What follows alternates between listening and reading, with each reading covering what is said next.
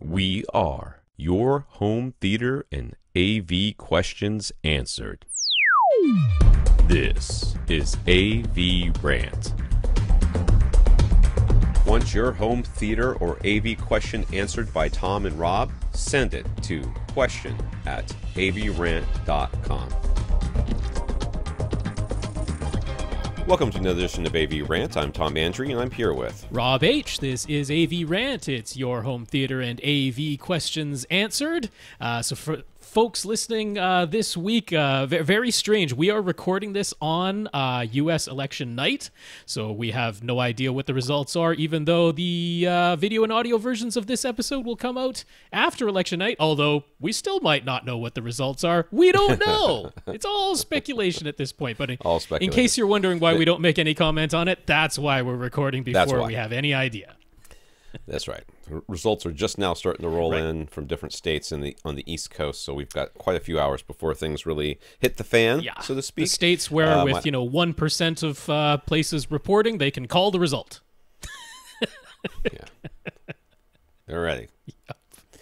But uh, my wife went to uh, help, tried to help polling places Mm-hmm. today. She signed up kind of late, so they really couldn't find anything for her to do. So I thought she was going to go there and have a terrible experience and come back and dive headfirst into a glass, maybe bottle of wine, and then take me along the ride with her. But she did not. Okay. She was good right. and uh, said it was a fine experience and didn't see anything.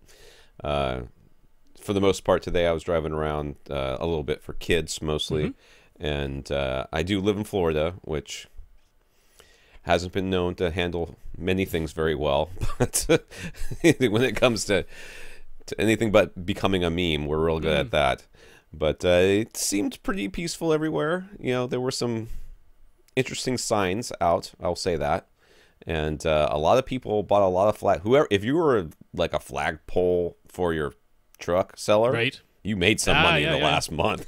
you you had a good month. This was a good month for you because there's people like all over the place, and uh, we actually got caught up in a parking lot with a one of those uh, like truck rallies Mm-hmm. for Trump or whatever, where it was the Vietnamese American Federation or something. I don't know what they're called, but I had to look up their flags because there's a yellow flag with three red stripes on it, and I was like, "Is this a new flag? I've never seen this flag. It, it, it is fairly new, but I just didn't know." And uh, apparently, the Vietnamese love Trump. Did not know that, but that's That good to know, particular group does, perhaps.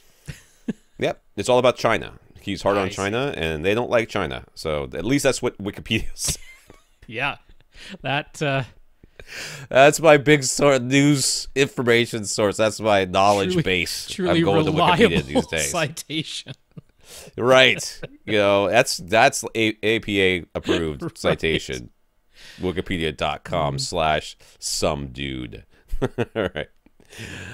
Yes. All right. So we do have our Thankful and Infinite podcast coming up. do. That will be the day after Thanksgiving. Those will be released. I am led to Is it? believe on. Uh, is it? I don't know. we haven't. I thought there's a that ton w- we still haven't we- sorted out, and it's coming up. We haven't sorted that out yet. Okay, I thought we were releasing it the day after. Thanksgiving. I thought we were releasing it on Thanksgiving, but we're gonna have it recorded prior, so we can we Yeah. can decide. It's as simple as saying Yes. when will this go live. That is true. We will all make it go live at the the Yeah. same time. So you'll all- so that week, if you listen to all three po- podcasts, you will only have one podcast to listen to. Well, we we But still ours, might have a separate ours, episode. ours will be the longest because we might add something onto the end or have a 2nd We'll episode. probably I just will have definitely have. We'll definitely have a second episode. episode. Yeah, but uh, Let's be honest. yeah, that's happening. HT guys, that'll be their episode for. Uh, in case Wait, and there's nothing wrong with that. Hearing this for Yeah. the first time, uh, we didn't actually say what it is. It's a three podcast, six man crossover event. We're gonna have Ara and Braden from uh, the HD TV and Home Theater podcast. They're the HT guys. We're gonna have DJ from the Brightside Home Theater podcast, and we're gonna have Tom, myself, and Lee Overstreet from AV Rant. We're all gonna get together and do a Thanksgiving episode. So It's a six man, but fifty percent of them are from our podcast. Yes, that's true. I'm I'm hoping recording Zoom and OBS will work because that's that's my plan at the moment. Mm. I think. I mean, we're all going to record. We're all going to right? record The our audio. Where there, there will be an audio version for sure. I'm just hoping I can make a video. The video is going to be probably. There are We will say no promises for the video, but an attempt will be made. An attempt will be made. That's right.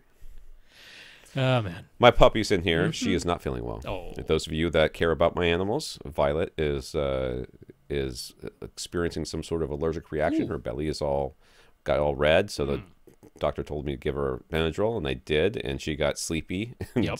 Didn't bark at any of the workers in the house for the first time ever. I'm like, Yeah, there's a side note. dogs. Workers still in Tom's house, so Right, right. That's that's just become so commonplace. Right. But uh, so, but now her, she's gone from being red to have being kind of hivey. So Mm-hmm. we're going to keeping a close eye on her, and if I don't see any improvement by tomorrow afternoon, I'm taking her into the vet, or at least calling them and making an appointment. And yes, workers, but Mm-hmm. I think tomorrow's the big day. okay. I- think I think that the cabinet guy will finally be done tomorrow, which I thought he was going to be done last Friday, but he I still am missing a door and a couple of handles and a couple other things, but he should be able to knock that out in a couple hours, I think. Uh, and then the people that do the they're going to install the gas range and get all that stuff done, they come tomorrow, supposedly before noon. And uh, the only thing left at that point will be backsplash, and the backsplash guy comes on Monday. So tomorrow, I today I got a, a, a, a hooked up dishwasher for the first time in months. we haven't used the dishwasher in so long that the little the little pods that you put in them were dusty. Nice. now, by by my powers of deduction, you must have countertops. This means last we I do. heard you didn't have countertops. They Oh, I didn't have countertops had to be last time. That's right, back they took and them back. fixed or whatever. Yes, they they they brought them and they installed them, and that's All that's right. all done. They look very good. Uh, I have one small issue that I'm t- trying to talk to them about, but they're not real good at responding. So, but I have countertops Okay. and they function, and the there was other issues I mean, if you guys with the too long the the, the short, too long didn't read version is more than this podcast can Yeah. bear, but there were things like the they installed the dishwasher and I looked at the cabinets and went, well, that's not going to work because a couple of doors don't open anymore because of where the, the door was for, for the dishwasher. The the it's it's in like in the, the the the crook of the L, Okay. and it the they were supposed to be a kind of a spacer and there wasn't, and the cabinet guy was like, huh, well, that's a problem. I'm like, I know. so things, things, Okay. but we're getting Little bit- close, Rob. Getting close Bit by bit. getting close, bit by bit. My wife has been saying we're almost there for like three months. It's getting Two day sad. It is a two day job, maybe three tops. tops. They're gonna knock it right out. So, yes, it is a thing. All right, this is AV Rant, the podcast that answers your home theater and AV questions. To get your questions answered, all you have to do is ask. You ask by emailing us at question at avrant.com. You can go to avrant.com, leave us a comment there, facebook.com slash avrant avrantpodcast, youtube.com slash avrant. You can also contact us directly, rob at avrant.com. His Twitter is at first reflect. I'm Tom at avrant.com. My Twitter is at avrant underscore Tom. First, we want to thank our listeners of the week. To become a listener of the week, you just support the podcast in some way. One of the ways you can do that is going to avrant.com and click on the Buy Us a Cup of Coffee link. This week, we were extremely active in the number of people that did that. And I want to thank you for going to uh, clicking on the Buy Us a Cup Cup of Coffee link and leaving us a PayPal donation. So we want to thank Alan, Aras, Kevin, Chad, and Bertrand for doing that this week. Thank you very much, gentlemen. Yeah, sure seems like the holiday season is upon us. Uh, Alan, Aras, Kevin, Chad, and Bertrand, thank you very much for those PayPal donations. Uh, very pleasant surprise, and we appreciate it very much. Thank you very much. And we also want to thank our 122 patrons over at patreon.com. Patreon's a service where you sign up to be a, uh, say, a, con- a subscribing member of our audience, where every month you they take some money from you and give it to us, a minimum of a dollar. And uh, we had 122 patrons this month, so thank you very much to all of our patrons. We, we love you. Yes, we do. Patreon.com slash AVRant Podcast. If you would like to sign up, think of it as a voluntary subscription, if you please. And uh, big thanks to our 122 patrons over there. Okay. So if you can't support us uh, financially, we totally understand. Just support us in some other way and let us know what you did, and we will thank you for it. So we want to thank Steve at nextgenhometheater.com. Uh, Steve helped Rob secure his request for the free PlayStation VR camera adapter for PS5 Mm-hmm. by letting him know that the key to success on Sony's website is the insanity approach. Just cr- keep trying the same thing over and over until you get the result you want. And what does that mean, Rob? So uh, there was a website that got tweeted out, uh, which I retweeted. I'm like, hey, if you have PlayStation VR and you're going to get a PlayStation 5, you need to get this adapter for the camera for it to, it to work. And uh, they tweeted out the link where you should, could supposedly do that. Um, so I went there and it says, okay, uh, you know, choose your country. That's fine. Uh, enter the serial number of your PlayStation VR. I'm like, okay, that's fine. And then it said, oops, something went wrong. We can't proceed. And I was like, okay. So I gave that like a couple tries, you know, tried capital letters on the letters that were in the serial number Right. and that type of stuff. I'm like, ah, nothing worked. Okay, I was like, whatever. It's not up and running. Check the regular website. The links were broken. You know, it just said 404 errors and stuff. I'm like, okay, whatever. It's not ready. And then, uh, so I tweeted that out, and then Steve was like, oh, I just tried it about 200 times in a row, and eventually it worked. I was like, okay. So, uh, Sounds like Sony. I went back to the link and I uh, again entered the serial number. I think I think I only did it about twenty times, and yeah, it just worked randomly. One time worked, you know. So just keep trying the same thing over and over, uh, expecting a different result. Because eventually, it was a different result. Yeah. All right. Well, that's that's high. That's uh, almost certainly some sort of bandwidth issue where they're just getting so many hits that Who knows it just re- returns an error. I got an email saying we've received your request, so I'll take that as a good sign. There you go. All right, uh, Blake, let Gary Yacoubian from SVS know that he purchased the combo of a PB4000 and a PC4000 for his 8,000 cubic foot basement because of our recommendation. Blake says SVS was great to work with, as usual. Congratulations, Blake. Thank you for talking us up. That's right.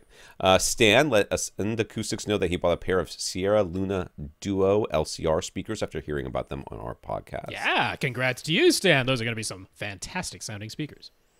And we got notes of gratitude from Brandon, Scott, Aras Jay, and Chad for keeping the podcast going and staying upbeat and what can only be called the year.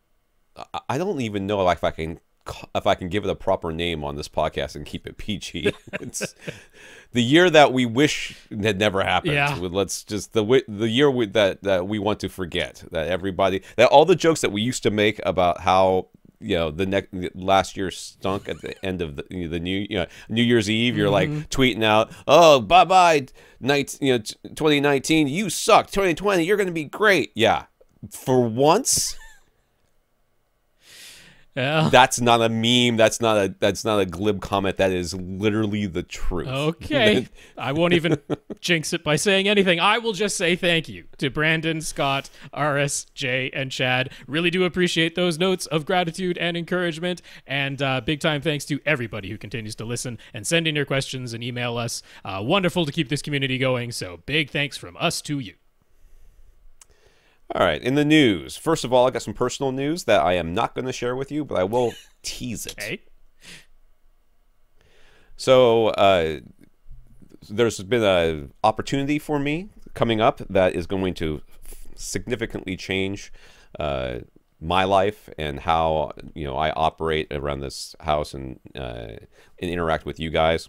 So uh, that's coming up soon. I can't officially announce it yet, but uh, stay tuned. Okay. Those of you that have been uh, have uh, have been following me for a long time might have a clue as to what's going on, but uh, or maybe a guess.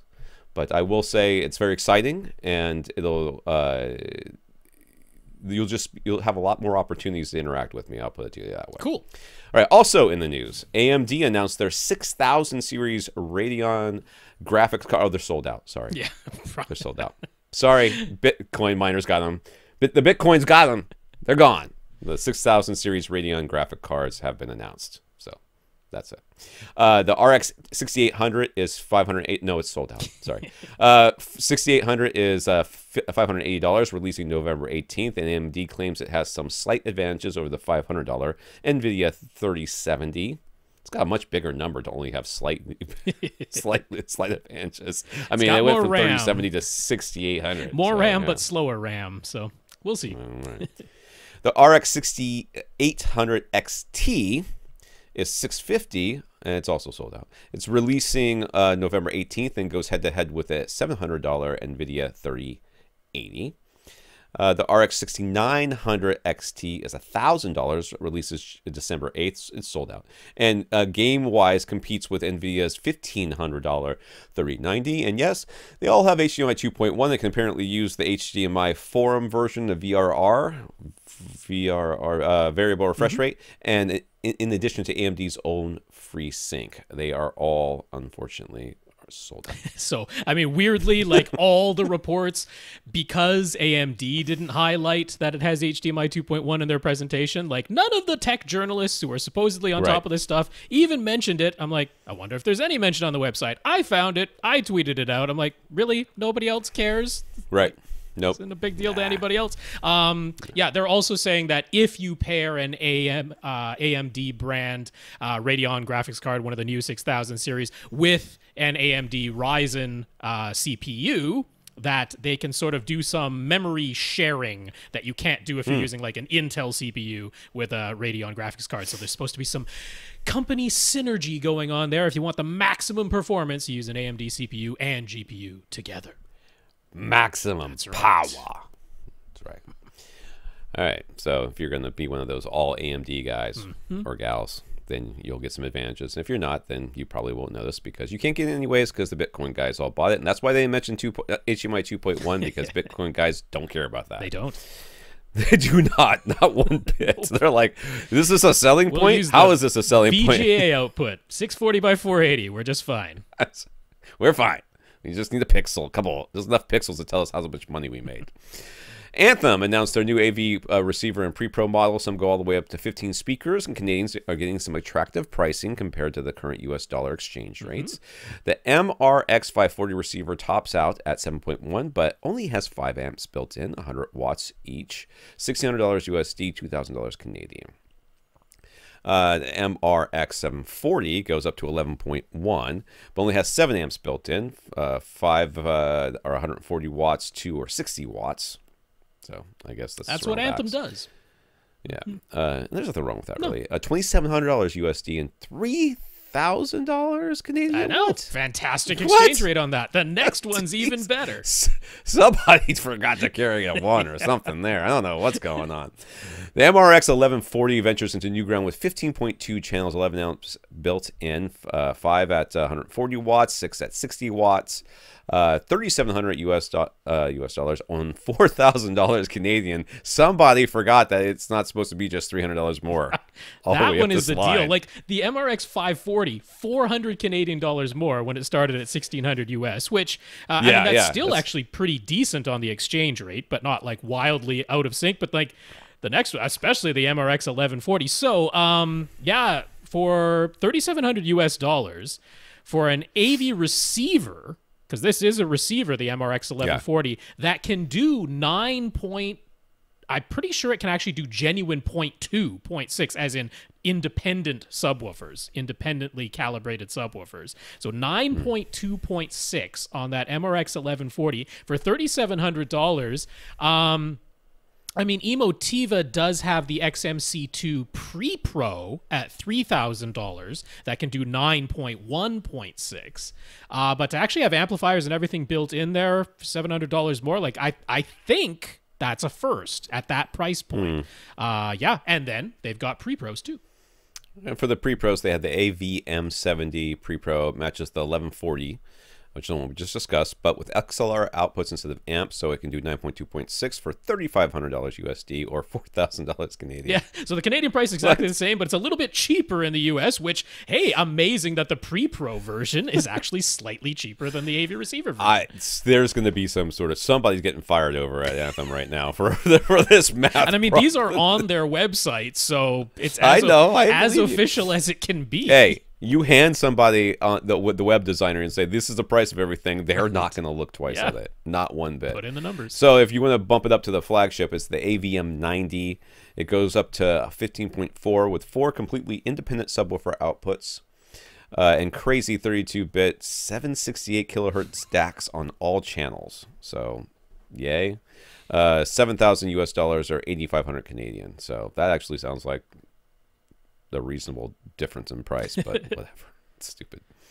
So they all have HDMI 2.0 out of the box, but Anthem promises an HDMI 2.1 hardware update will be available next year.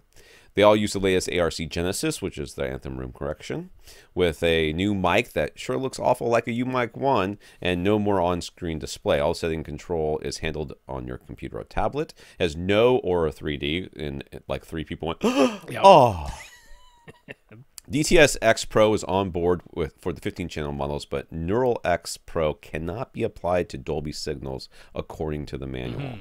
So So front wides, that's the thing, right? If you're going to do the thing, okay, yeah, yeah. 9.2.6 or 9.4.6 in the case of the AVM90, uh, yeah, to upmix signals uh, and make use of the front wides, i at least according to the manual, it described that uh, DTS X and DTS Neural X Pro can only be applied to DTS signals. It can't be applied to Dolby signals. Uh, so, I mean, of course, a ton of content is in Dolby signals that, uh, you know, is not full Dolby Atmos. And apparently, at least according to the manual out of the box, unless there's a firmware update at some point to change that, uh, you won't be able to uh, upmix front wides for those Dolby signals. So that's one little drawback there. all right, amplifiers can be re- uh, can all be reassigned except for the center channel, uh, which is great. It is, yes. yeah. Yeah, like manual indicates Dolby volume is no longer separated into independent equal loudness curves and dynamic range compression. So you get both, whether you like it or not. Yeah, so I mean, this That- is the way that sucks. Dolby Volume is applied in everything else that has Dolby Volume. Right. Normally, when you apply Dolby Volume, uh, what it would do is mostly dynamic range compression, but it was also doing some curves of equal loudness, similar to like Audyssey Dynamic EQ or Yamaha's YPAO Volume or the Fletcher Munson curves, if you want to think of it that way. Uh, those were being applied, but it was it was both together. That was the normal way, and that is the way it's described in the manual for these new Anthem models, uh, because it just gives uh, you know that you can set it to off, low, medium, or high for Dolby Volume. That's the way it was. In their prior models, they had implemented Dolby Volume in a way that nobody else had, in a superior way, in my opinion, which was that they separated the curves of equal Right. loudness part from the dynamic compression part. which is what Audyssey does. Right? Exactly, yeah. So you could apply curves of equal loudness uh, via Dolby Volume, just that part of it, without applying dynamic range compression. That's what I want to do. Again, I don't know. Maybe it's just a oversight. Don't the know why they think you want dy- uh, why you want dynamic range compression. Why Right. you would want that? Oh, I mean, everybody has it. You know, I mean, Audyssey has Oh, I know, dynamic volume. Yamaha has. I mean, it, I, but- I but I don't I don't know why that's not l- by itself. I like know. I, even if you took the, the equal loudness stuff and put it with something else, that would be maybe make a little bit more sense. But these two things seem to be the not quite the opposite, but they work against each Right. other in a lot of ways in my mind. So it's very odd to have them do So that. the two But things whatever. that we've spent some time on with the DTS uh, Neural X Pro only being applied to DTS signals and this uh, Dolby Volume. Now, again, I'm just reading that from the manual, so maybe it'll Yeah. be changed in a firmware update. Maybe the manual isn't like fully completed yet, and that's placeholder text. Uh, Uh, I could be completely wrong about those things, but assuming that Right. the manual is correct, uh, those would be the sort of the two things where. I would maybe still be looking at Monoprice's HTP1, which is a pre-pro and it's four thousand dollars. So uh, Right, you know right, the price is higher, and you're going to have to have external amps. But what I love that Monoprice did with the HTP1 is uh, like they don't have DTS X Pro yet. Uh, they say they're looking at adding it, but Monoprice was just like, hey. We'll just create our own matrixing that uh, if you're listening to a um, 7.1 signal, uh, we're going to create front wides for you. Uh, and we're going to create top middles for you. like they're just going to matrix that themselves with their own processing. Uh, they're going to put in uh, over at Monoprice with the HTP1, they put in their own curves of equal loudness because Dirac, which is the room correction that they use in that unit, doesn't have curves of equal loudness. They put their own in. So those two features are the things that still keep the uh, monoprice HTP1 at the very tip top of my list. Uh, those are advantages that they maintain over Emotivas, Pre-Pros, over these Anthem ones, at least according to the information we have right now. But yeah, uh, mainly, I just want to mention these these Anthem ones. The prices definitely attractive. I mean, still expensive stuff, but it's just nice to see this 15 speaker capability is coming down in price. Cool. Uh, sorry, I clicked off for a second here, and I'm now having to move a thing, mm-hmm. and that's it. All right, Netflix Canada was a little ahead in announcing their price increases. Now Netflix USA prices are going up too. I did read that, mm-hmm. and I was like, wait a second. so basic, uh, the, it was the standard definition one screen remains at nine dollars a month. Standard HD two screens goes up a dollar a month to fourteen dollars a month, and premium 4K four screens goes up to two dollars to eighteen dollars a month. Yeah. So, so Canadian prices are only one dollar more. Uh, so we're getting by that measure. So, we're getting but you get the Anthem stuff rate. for cheaper. So what you complain about? I know. What you complain about? It's still nearly twenty dollars a month for the 4K version, but it's almost twenty dollars a month in the U.S. too. Uh, yeah. Uh, honestly, I kind of want to encourage people to start canceling your Netflix subscriptions because they're getting a bit out of hand. In my mm. opinion, anyway, these prices are getting a bit out of hand. Well, they got to stop canceling everybody's favorite shows. They That's what they really got to do. Yes. That's the big thing that I think is going to make people start to. Well, I mean, Netflix. why would I invest in any new Netflix show when the likelihood is the story is not going to be allowed to be completed? That's a yeah. really I don't understand that strategy at all. It, like they're saying, "Oh, well, we, we only want hits that bring in new subscribers, but we're not going to like complete the story for you. So why would I ever yeah. trust them? Why would a show ever become a hit? I want to see if it's going to be able to have a conclusion. Right. Weird. They when they when they first started off, it was like every show got yeah, renewed no matter seasons. what because they, they, you know Wolf Creek got like seven like five seasons and everybody hated it. You know, I didn't know any, I don't know anybody that watched more than one season of that thing. Or maybe that wasn't the name of it. I don't know. It was something about wolves, but uh, I never watched it. But uh, you know, a lot of good stuff out there. It's like, oh, it's already canceled. I'm like, what is yeah. it? Can- I haven't get a chance to watch it yet. You know, Mandalorian season two came started up, started up this week though. So that's if you haven't Disney watched Plus. the first episode it's pretty good. Disney Plus, which is much cheaper and includes 4K and HDR and Dolby Atmos for everybody. They don't have tiers. Yeah, but it doesn't quite have the content. It doesn't quite have the content yet. And yeah. once they have the subscribers, the price is going to get jacked up on that. So enjoy it while you can, folks. And that's right. Uh, comments here. Herb from Cross Spectrum Labs tweeted to say that Mini DSP hadn't hasn't made UMIK 2 units available to dealers just yet, but once they do, he'll definitely consider offering them with individual calibrations. He, but he doesn't anticipate offering the UMIK X array microphones through Cross Spectrum unless it's just as a straight reseller. Since the UMIK X uses four capsule clusters and not individual omnidirectional mics, uh, Herb says it would be nearly impossible to offer a useful calibration, certainly not at a highly affordable price. So that's why we like Herb because Herb's like, eh, I could charge you for it, but I can't really do it all that well. So you know, the why don't we value proposition? Yeah, that's right. Why don't, why don't we just not? Uh, Nick, Nick's uh, since I mentioned I, am interested in horror movies, Nick recommends uh, arrowplayer.com. I have not, I did get this email, hmm. have not had a chance to check it out. Arrow's Blu ray releases of mostly horror and cult classics are limited production runs and they tend to sell out quickly. But luckily, they've expanded their streaming service beyond the UK and it's only $5 a month. At the moment, they have apps for Apple TV, Fire TV, Roku, and Chromecast. Mm-hmm. Arrow-player.com. Check it out what did I watch the other night that I yawned my way through? uh, the autopsy of Jane Doe. I th- I was like, when's the scary part happening? Never heard. I just, yeah, it was on a list for scariest movies on Netflix right now. I'm like, okay or maybe it was Hulu. I think it was Netflix. Carl. Carl wrote to, to Denon to ask if they have begun the HDMI 2.1 hardware upgrades for the X8500H yet, since the AVR A110 exists now. But of course, it has the issue where 4K 120 uh, variable refresh rate doesn't work, and we don't know when or if even if it will be fixed. And repl- Denon's reply is that they are anticipating a December or January rollout for the X8500H replacement boards. So there you go. We shall see. We next Famous last H. words. We shall see. Yes. Everybody cross their fingers. Yeah.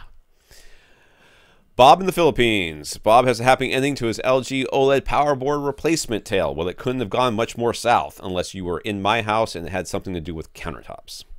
Last week, the LG service subcontractor called to say they had received the parts from LG and the technicians would be at Bob Bob's house on Tuesday between 9 and 10 a.m. Three technicians showed up on his door on time this time. Yeah. So that's exciting. That's exciting. Uh, they used the YouTube video that Bob had downloaded to figure out how to replace the power board. Only discover that his E series OLED doesn't come apart the same way the C series unit does in, in, in the video. Removing the back panel of the E series is, is much trickier and required careful prying the up the back with plastic sp- spludgers. Spudgers.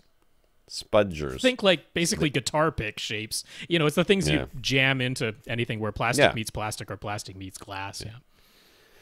So the technicians didn't have any, but luckily Bob works on interior car panels all the time, so he had a bunch. Jeez, Bob, why don't you just do this yourself? man. He pretty much. Bob, did. you know what? Clearly, LG will subcontract to anybody, so you could be doing this. Pretty much.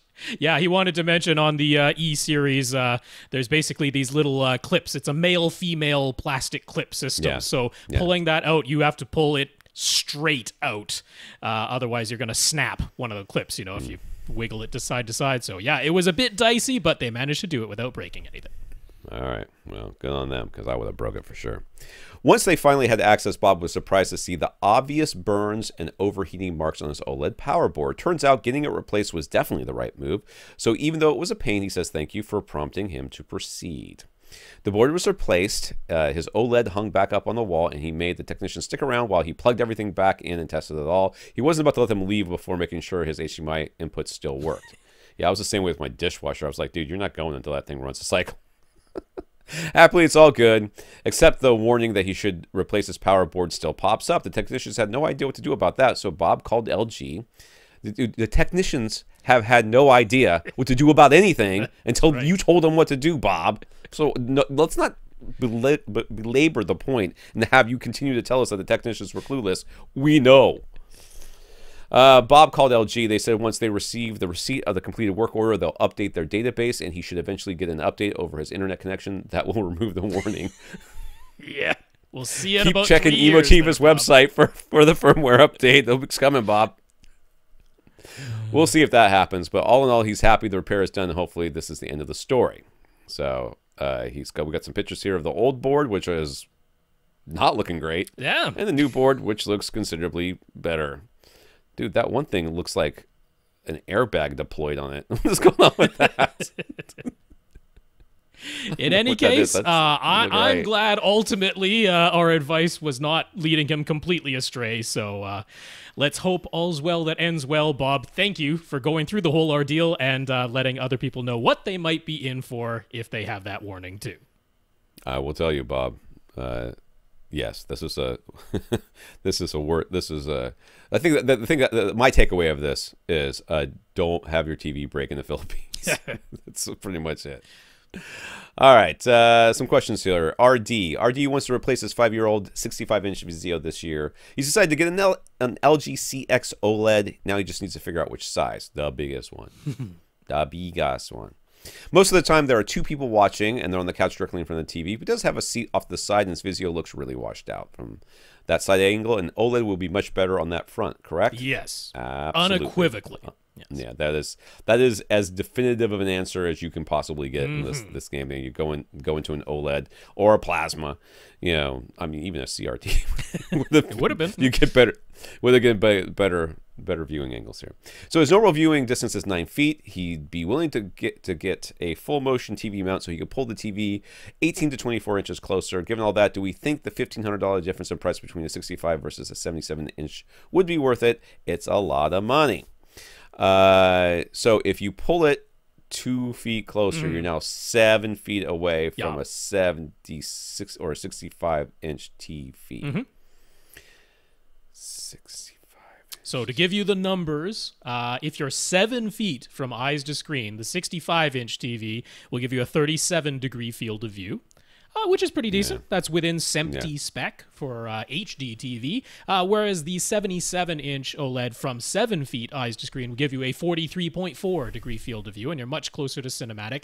If the TV ends up being 9 feet away, uh, there's no question I would want the 77 inch if there's any way for you to afford it. Now, $1,500 is a lot of money. It is a big It price is. difference. And the 65 inchers are getting uh, cheaper faster than the 77s because they can simply manufacture them more easily with the uh, plants that they have available.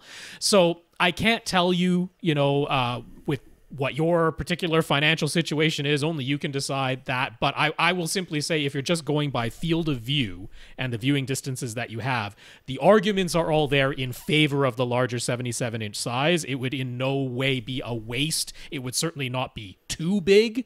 Uh, so as long as you are able to afford it, I would urge you to go with the larger size if at all possible.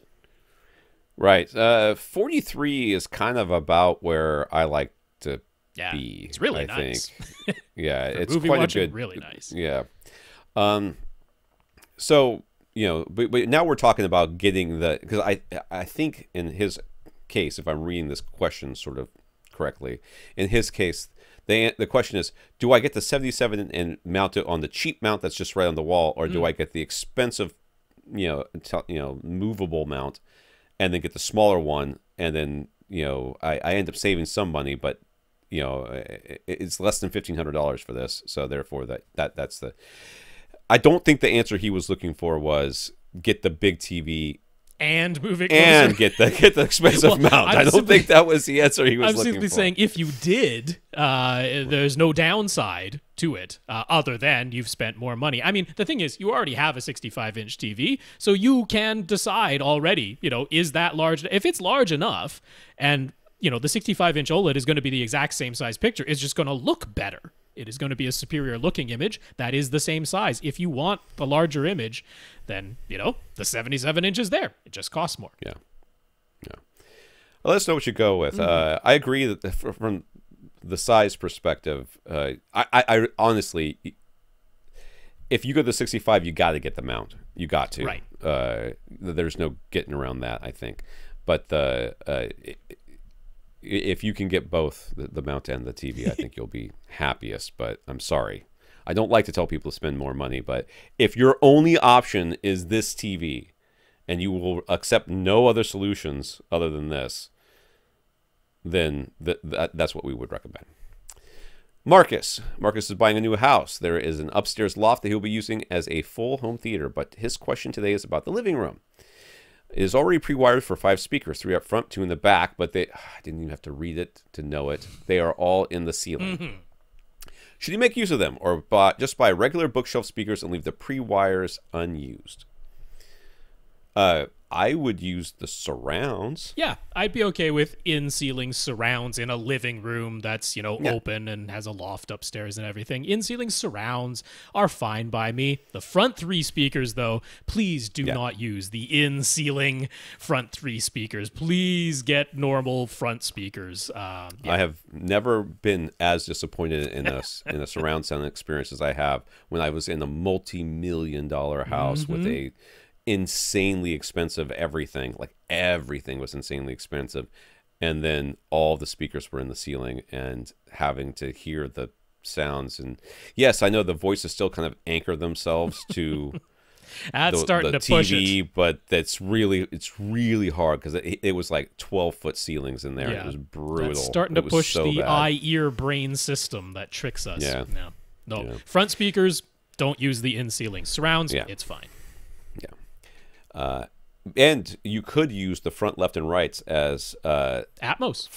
Atmos speakers. Yeah. You know, f- uh, top front, uh, hot front heights, Or top front fronts. heights. Yeah. Doesn't really matter what you name them. When and if you hey, and if you depending on how where these speakers are placed on your ceiling, you could use the other ones as your top middles. Yeah. Yeah, well, And the then put speakers you the could have top fronts and top rears at most. You've already got in ceilings, and then you get five floor level Right. speakers. You could also do that. Have a nine speaker that setup. that would be probably the optimal way to use these speakers. All right, Aaron. Aaron says thanks t- for talking to his wife, Tom. I don't know what you're talking about. I haven't spoken to your wife. You mean? You Doesn't sound like me. I don't talk to other people's wives. ah. I actually don't. Like I get real Yeah. super weird about when there's I don't know. Uh, socially, socially I find it awkward to talk to a man's wife in front of him unless I'm like specifically friends with her and then I don't really know him. But that's weird. All right, they still haven't decided whether to get the 77 inch OLED and move the seats closer or to put the seats where his wife says she wants them and go with the projector. But if he goes with an if he gets an OLED, the price on Sony's 2019 A9G has now dropped uh, as low as $3,500. That's $200 cheaper than the LG uh, CX that he was looking at. So, what does the LG offer over the Sony that might make it worth a couple hundred dollars more? Well, like you can totally sh- turn the lights on and still see the TV. That's like number one right there. Um, Yeah, it's not that different on that front. yeah, know, both depending on how. I mean, it's a, it's a, it's a with a direct view. Uh, well, no, no, this is a OLED This versus is a OLED. OLED versus OLED. Sorry, Yeah. I thought I, I read that incorrectly. Okay. Read it as a projector. Um, in the A9G is a one of the LCDs, or it's not an OLED, is No, it? that is an OLED. Yeah, that was that was Oh. Sony's top of the line 2019 OLED was the A9G, uh, and then of course this year the C10 is the most popular of LG's OLEDs. Um, so the difference is like there. could- oh, okay, is there a difference? And I think that the LG is better. But Go on. yeah. So the LG has four HDMI 2.1 inputs. Uh, they are limited to 40 gigabits per second, but it's not a big deal. That limits you to 10 bits instead of 12 bits, and the panel is 10 bits anyway. So you get four HDMI 2.1 inputs on the LG C10. You get zero on the Sony. So if you are looking toward next generation gaming, PlayStation 5, Xbox Series X, uh, NVIDIA 30 series graphics cards, or the new AMD 6000 series graphics cards, any of those, then uh, in fact you could plug all four of those simultaneously into an LG C10 and uh, zero of them into the Sony and glean all the HDMI 2.1 features. Uh, the other thing is the dynamic tone mapping. Uh, now, both have dynamic tone mapping, uh, but in the Sony, you cannot turn theirs off. It is always present, and Sony opts to keep the overall average light level at a sort of the same, but they are willing to sacrifice the brightest highlights. They're willing to let those just blow out into pure white uh, to maintain the average picture level. That's just the approach Sony takes to uh, HDR tone mapping in general. Whereas LG, you have the option of turning dynamic tone mapping on or off, and when they do it, they favor preserving all the highlight detail. Occasionally, that means the image looks a bit dimmer because everything got smushed down so that you could keep the brightest highlights but it's just their differing approaches in tone mapping so those are really the two things you would look for hdmi 2.1 and how they handle dynamic tone mapping okay. Uh, Aaron has a compliment of Klipsch speakers that he got for a steal of a price. He was initially planning to use the bookshelf speakers as surround, but the room isn't very large, and saving space would be a plus. He saw that Rob has experience with the uh, Revel M8 and M10 on-wall speakers. Would they be a suitable choice, or is there a better option that won't protrude from the walls? Uh, I don't know. I'm. I, I gotta. I gotta get some more water. So Okie doke. Well, I'm going to say to go with uh, Klipsch because you already got Klipsch. Uh, Klipsch has reference Premiere on wall speakers.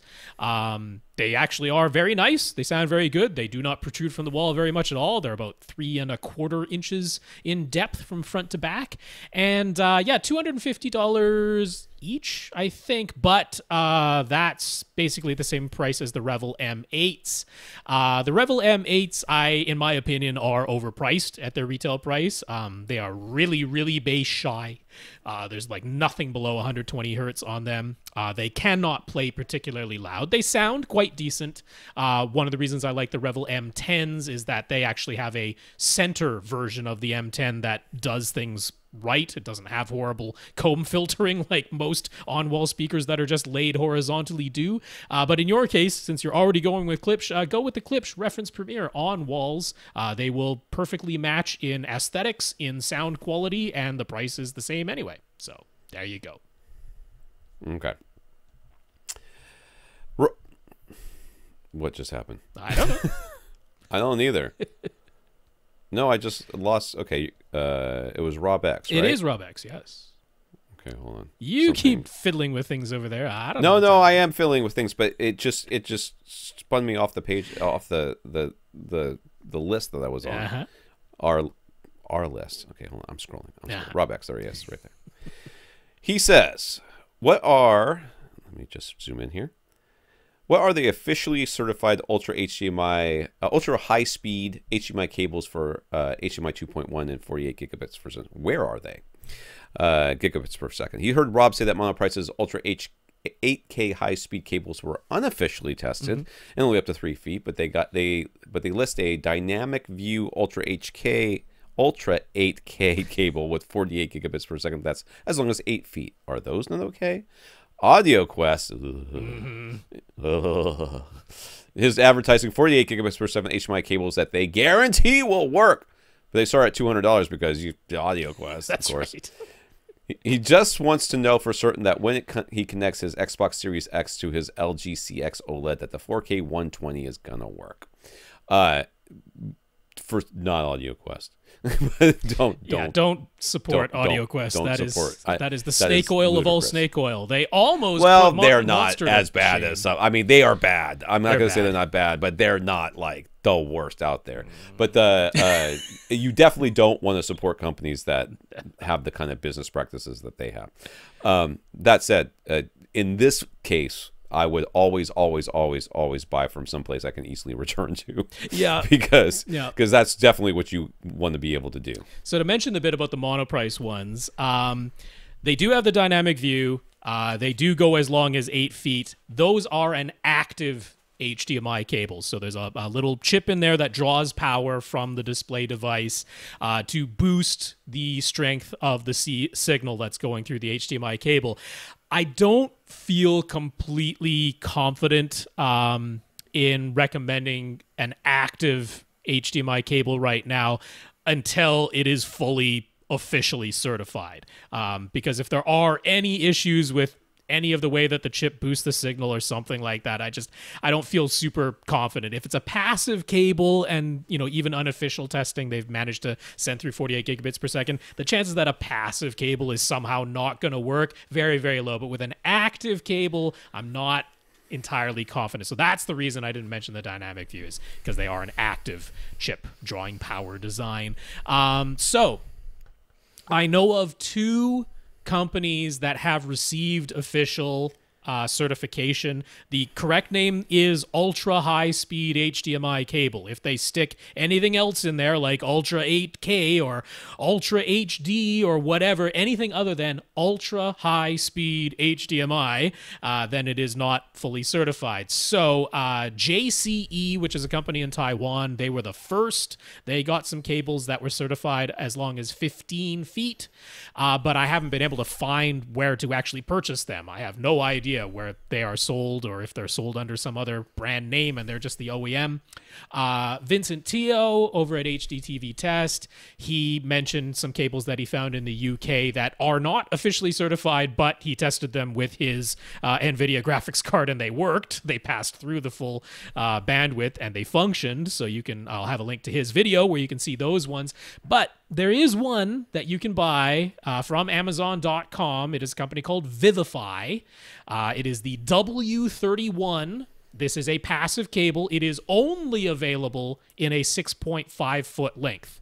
There is no other length that is officially certified yet, just 6.5 feet. So I hope that's as long as you need. Uh, but yes, the Vivify W31 HDMI cable is available from Amazon.com. The 6.5 foot length is $15. So it's not like they're grossly overcharging. It's certainly not the $200 that AudioQuest wants. Uh, so yeah, that that one is HDMI LLC themselves tweeted out, here's an officially certified cable. So that's as official as it can get right now.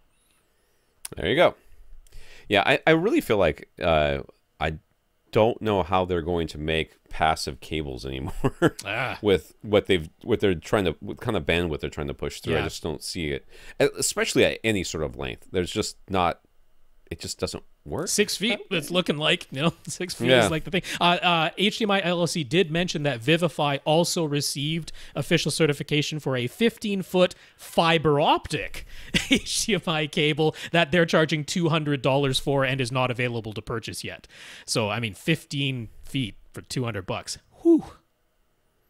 That's that's a, that's a But you know, mon-. Monoprice has fiber optic ones uh, that they say again not officially certified yet, but they have a fiber optic one starts at ten feet, and the ten foot one is one hundred and ninety dollars from Monoprice. So it seems like this is what we're looking at for anything over six point five feet. All right. Uh, Jason, Jason first put together his theater in 2011 in uh, a 7.1 setup with all Paradigm Monitor V7 speakers, tower center, and dipole surrounds and backs, a 58 inch Panasonic Plasma, and a that's nice, and a Denon 3300 uh, 3311 receiver. Now he has upgraded to a 65 inch uh, LG C8 OLED and a Denon X4500H, so he's thinking about Atmos.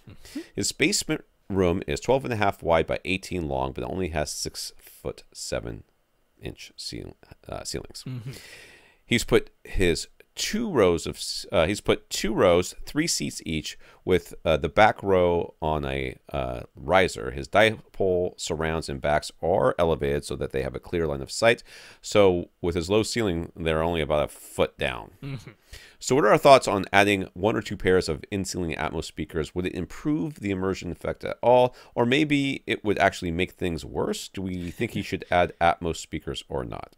So, let me take a little closer look here. Yeah. Yeah, this, you know, this, this room uh, is not unlike, you know, kind of my room. Your surround speakers are a little bit higher than mine were before I lowered them because I because they were they were too high and I lowered them down. Um, and I had dipole bipole speakers that I could Yeah. switch between. Uh, and then I got the the uh, prime surround whatever they're called prime, Prime satellites. satellite speakers, um, which I actually laid on their side so that the tweeter would be even lower. just trying to, just trying to get them, you know, as low as possible. But uh, so the, the the thing to the thing that you would normally suggest to do in this case would be to do uh, top fronts, top rears, where they the top fronts are a little bit, you know, kind of where they're supposed to be for your. Uh, uh, Front row your of main front your main row of seats. Since Yeah, he's got a low rows. ceiling, that might only be about three and a half feet in front of him. Right. In this instance, and then the, for the angle. the if it were me, I'd put the the the surround the top rears basically above the heads of the people in the back row. Yeah. Maybe a little bit squished behind that seat, but that puts them like within spitting distance of not. even, I mean, they could reach out and touch the surround backs. I'd, I'd basically have the like. top rears like straight up and just to the outsides of the Hmm. back row of seats, and then yeah, top fronts uh, just slightly in front of the front row, maybe about three, three and a half feet. Um, like I'm not gung ho either way. I, I don't really think you'd be getting a ton out of adding Atmos speakers. If you did, I don't think it would ruin anything. It might enhance something here or there a little bit. Um, His speakers are already so high up. I just don't see I that he's going to get that much that much like height information. yeah. Um, Like, if- for if you- example, if you were saying, should I make sure that I buy an 11 channel receiver to do Atmos? I'd be like, no, Uh, I I wouldn't. But since you have one already, and Atmos speakers don't need to be expensive, you can get some inexpensive, nice in ceiling speakers from Monoprice with with back cans, you know, all for a very reasonable price. And if you want to do the project, you could put them up there. So I'm like, I'm I'm come see, come saw, you know, like eh, I don't think you have to spend a ton of busting money. out the French. I don't think you have to spend a ton of money to put them up there. And if you did, uh, you might enjoy them here or there and it won't ruin anything. If you didn't, I'd be like, yeah, it's also fine to just leave things the way they are. Yeah. What about going with uh, top middle's front heights? Because that would put his speakers as far. Now you would ignore your back row. Yeah. Yeah, and I, I I mean, That would- everything's so close in here. I wouldn't bother with that. I'd, yeah, I do uh, right above the back row and slightly in front of the front row. That's, yeah. yeah. Yep. Okay. Brandon. First off, Brandon says he started listening to us about a year ago. He's a member of the Two Hour Plus Club, and thanks to us, he's learned about Carl's Place for his outdoor screen that he has paired with an Epson 3800 and also the Monoprice HDMI audio extractor that allowed him to use his HDMI sources with his Sonos Beam. So his question is he is building a home theater in his basement as part of a larger renovation. Don't do your kitchen.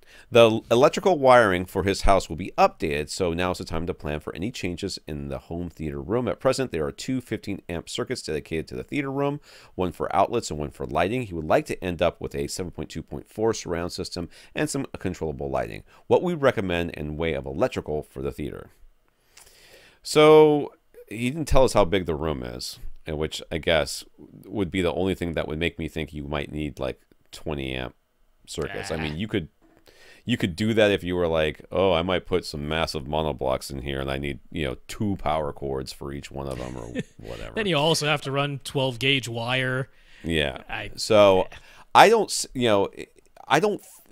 Right now, your plan sounds just fine. You're separating the lights out from the the wall outlets, which is great. The rest of the electrical, so that way, if you do put something on a dimmer or you do put something, uh, you won't get that weird. Uh, or if like what I've also seen is you turn the lights on and you hear a pop from Sure. your like receiver or whatever.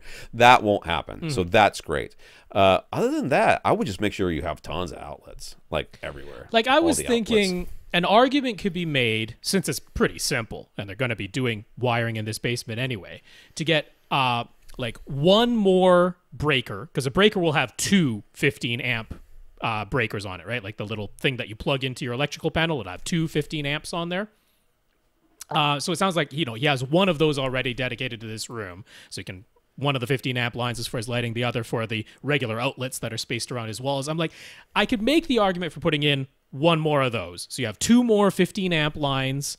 Uh, you can have one that goes directly to where your gear, whether you're gonna have a rack or everything's gonna be on a TV stand at the front. Like one goes there, it's gonna power all your gear. You know, all your gear is go- the majority of your gear is gonna live together either in a rack or a TV stand. One outlet for that, and maybe you have another outlet that you put like you know, four wall outlets around the room where four subwoofers might live. You know, like you just that way you can kind of separate all your uh, home theater equipment from the remaining outlets where you're just going to plug in normal day to day things and the lighting. The lighting definitely keeps separate, but you've already got that in hand. Right. So because it's not super expensive and it gives you just that little bit extra separation and peace of mind, you know, maybe you get one more little uh, 215 amp breaker, put that in your electrical panel and run that to your theater. That that'd be about it. I wouldn't do anything more than that.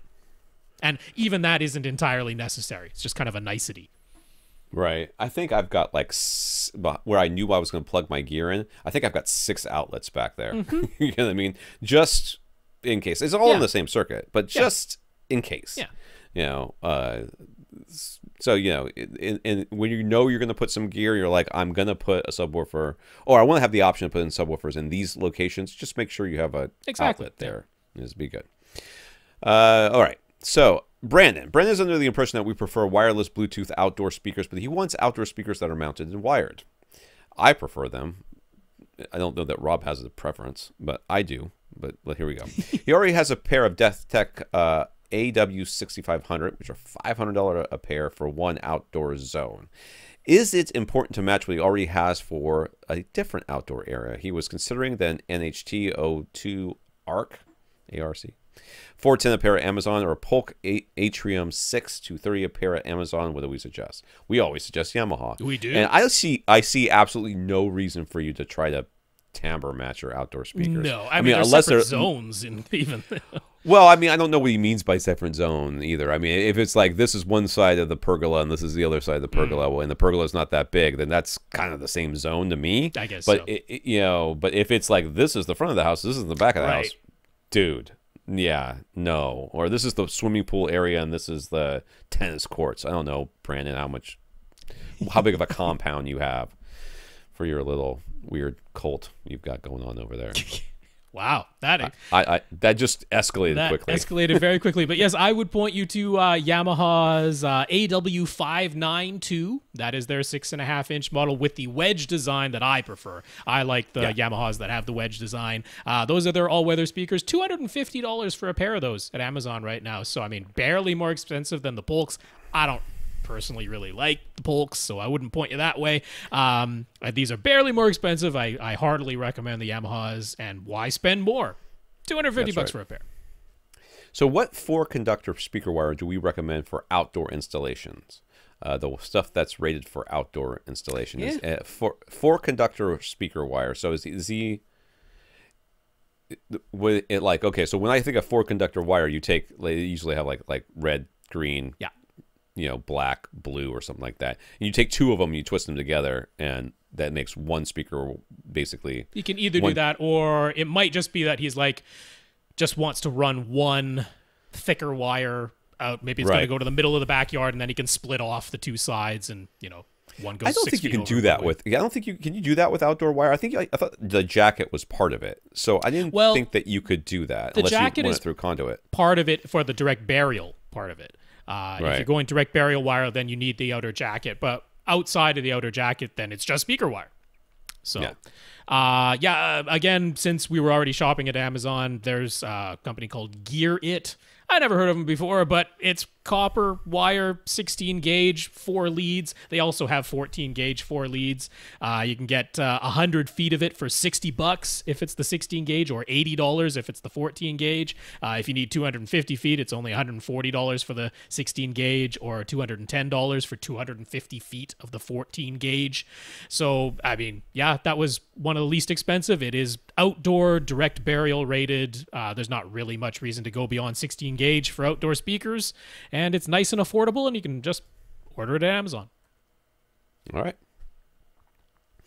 Uh, Ralph. Ralph asks, "Can we recommend an app for cataloging his Blu-ray collection?" No, I cannot. I'm sorry. Next question. Well, I can give it a shot. Uh, the one I've been using is called My Movies. Now, this is a little bit confusing because there's another one called My Movies with a longer name. Uh, but mymovies.dk is the actual website.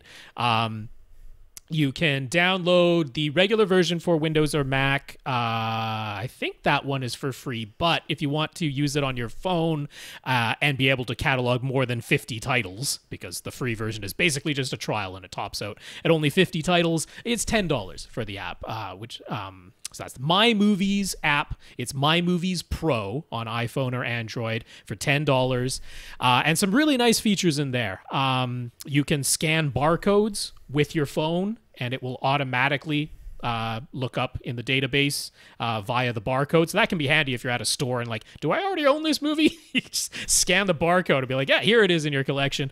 Um, the other thing is that if you are trying to integrate it with a home theater PC, uh, My Movies integrates well. You can do all sorts of things where My Movies will actually point to the file on your network attached storage or something like that. And uh, you can integrate all of that stuff together and use their metadata uh, to organize things. So that's what you'd be getting for the $10 price, My Movies Pro. Now, the free one that most people like is uh, the website Blu-ray.com that catalogs every disc that gets announced and comes out. Uh, it, you have to register with them, so you'd have to go to Blu-ray.com and register. But registration is free, so you're just getting an account with them, so you can post on their forums and have an account over there. Doesn't cost you anything, and they have an app called My Movies by Blu-ray.com.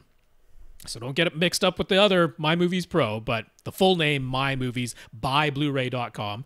It is a free app. You just have to be registered with Blu-ray.com, and registration is free. So if you just want a catalog, that's a great choice.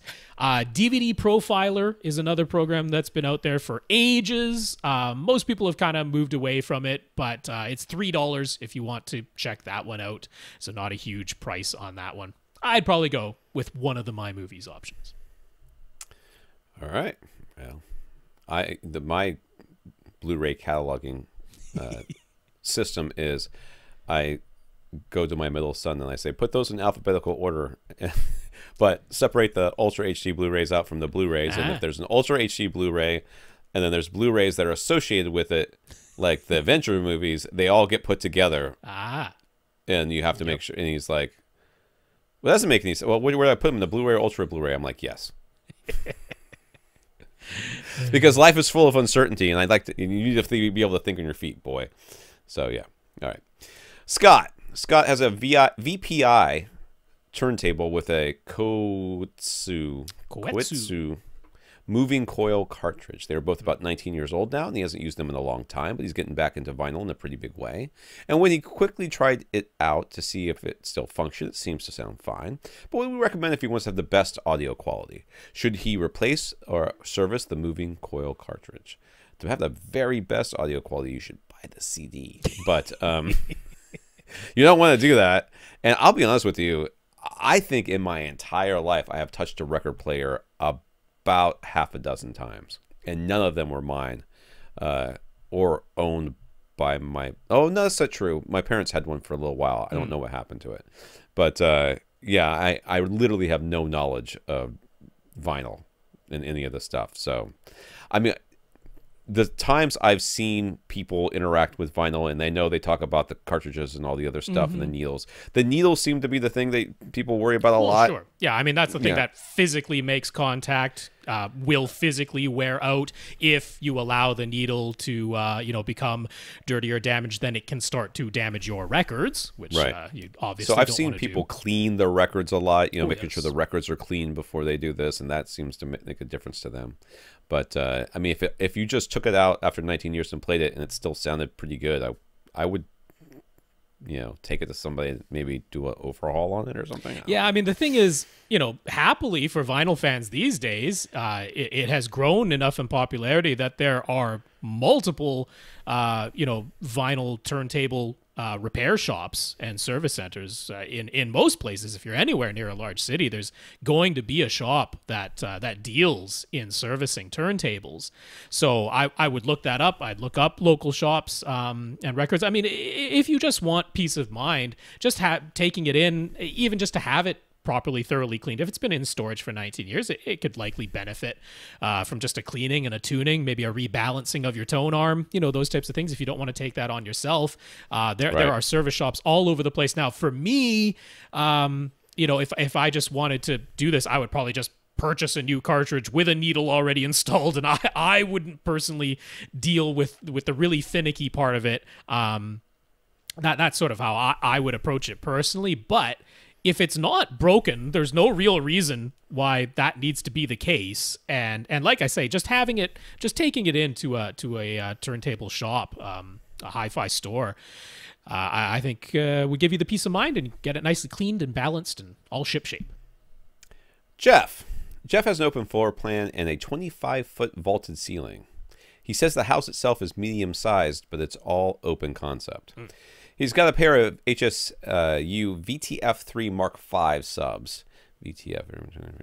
Okay. Yeah, so it's one step down from the flagship uh, VTF 15H Mark II. and they're they're handling the bass very nicely, but his monitor uh, audio bronze series speakers seem to be struggling to keep up. He's got uh, BXT towers, twin five and quarter inch woofers, and the matching center and surrounds. They're all crossed over 80 hertz using his Onkyo RZ810 receiver. So what should he do? Would getting uh, monitor audio monitors uh, models with bigger drivers make any difference if they are also crossed over 80 hertz? Should he get an amp? uh, where are you sitting in relation to these speakers? Because that's the number one thing we care about. If you are sitting, I mean, are you sitting on the? If you're sitting on the ceiling and they're on the ground, well, then you're too far away, and you need different speakers. And getting bigger drivers will not help you. But uh, I assume that's not the case. So, how far away are you sitting from your speakers? Because if you're over 12 feet, uh, if you're like 20 feet away, then you know it's like it not the seems size. like maybe he's just kind of filling up his whole house with sound and uh, Yeah. you know walking walking around this open concept and could be many many feet away from it at times and is just finding that a lot. now these particular monitor audio bronze um, speakers that he has they're they're relatively efficient. They're 89 db 1 watt 1 meter uh, but they don't have tremendously high power handling um, you know recommended to, to sort of keep it to about 120 140 watts uh, if it's continuous. So they're not like massive output beasts you know? They're, they're a pretty Right. average um, sensitivity and then not crazy high power handling. So honestly if, if you're driving them as two channel your your onkyo is already uh, providing basically as much wattage as they're um, you know prepared to take on a continuous basis so i'm thinking for what he's described putting the pieces together reading between the lines some more efficient speakers are, are really Yeah. the way to go here I, I see. I, I agree with you. I, I see two possible solutions here. Okay, and the first solution is that what you're going to suggest, which is more efficient speakers, so that you can put more power into a um, or get the, put the same amount of power that you're already putting into the, your current speakers and get more volume out. Yeah. Okay, uh, but I think what he really needs is a second option, and that option is a zone two, which is whole Sure. house audio. Whole house audio, yeah. Start distributing the the source of the sound instead of asking one pair of speakers to fill up an entire open concept. and and I think that's what I would suggest. this. I would suggest that you have you keep your monitor audio bronze speakers and your two sub or however many subwoofers he's got, and you know for your dedicated you know listening or whatever, and then when you're you know when you want to just have music in the background you you know put speakers in all the rooms you mm. know all the rooms that you're going to worry about the in ceilings bookshelves or whatever however you, you need to do it or even wireless with some of the wireless solutions that mm-hmm. are out there. And then that there that way you get sound in all of the rooms of your uh that you're looking for and then you're not trying to change up just you know these two speakers that you have mm-hmm. That I, I assume that you like. Not changing those up in order to so that you can get the sound from you know one corner of the house all the way to the other. You just say okay now i'm i'm no longer listening with those speakers. I'm listening with you know we're doing the whole house audio thing. And i think that's to me i think that's the solution. Now we just have to be able to make sure that he can still use the subs uh, in Right. that solution Yeah, you'd have to make the- sure whatever zone they're assigned is always on because they'll be Right. they'll basically be producing the bass for all of the speakers, All no of it. matter what Right. zones they are.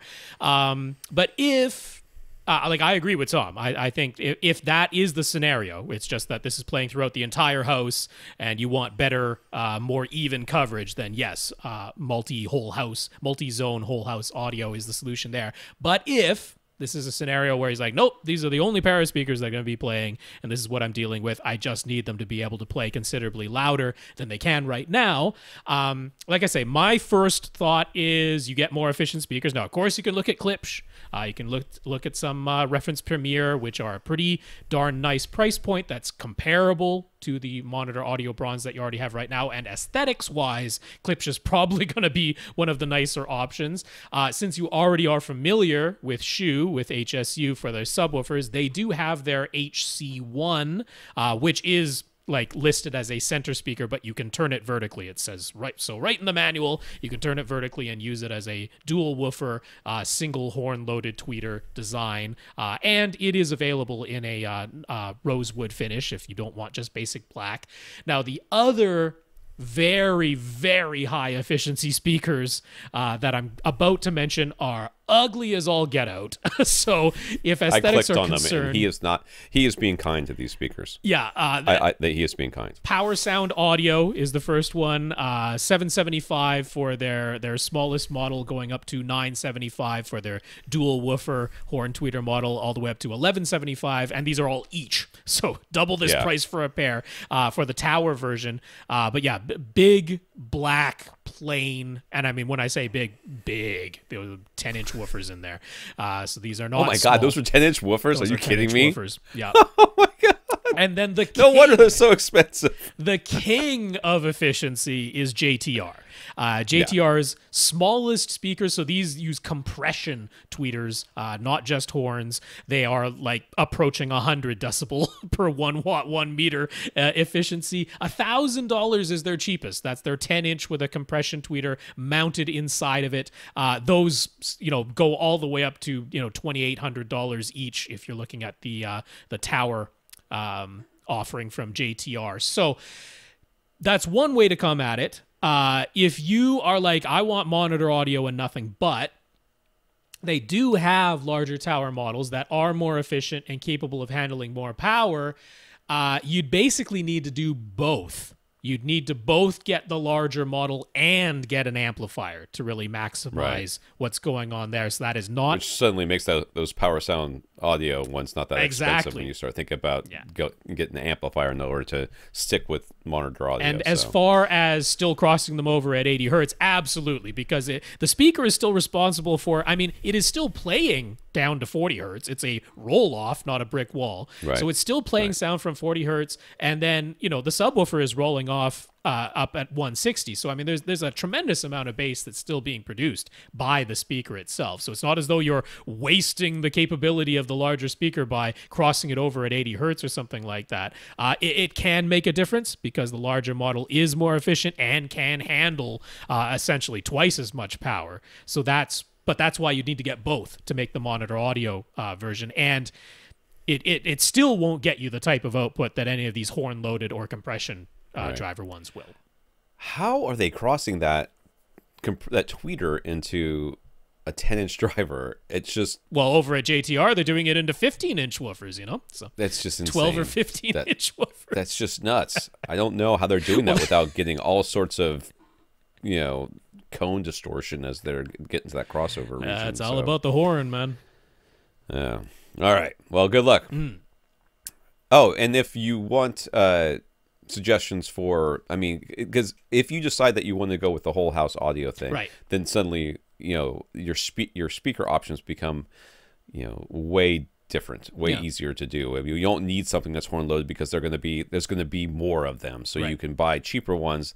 You know, a couple hundred dollars a piece from Monoprice or one of the many other places, or just get you know prime satellite speakers uh, and put them kind of Well, actually, since know, hit Onkyo supports so many different uh, wireless um, Yeah. solutions, including HEOS, right? Uh, well, no, HEOS is Denon. Not not HEOS. Uh, Playfi. Yeah, Playfi, You know, DTS Playfi. I mean, you could actually go with like uh, SVS's Prime wireless speakers because they are Right. also DTS Playfi. They would work right away out of the box with your Onkyo receiver.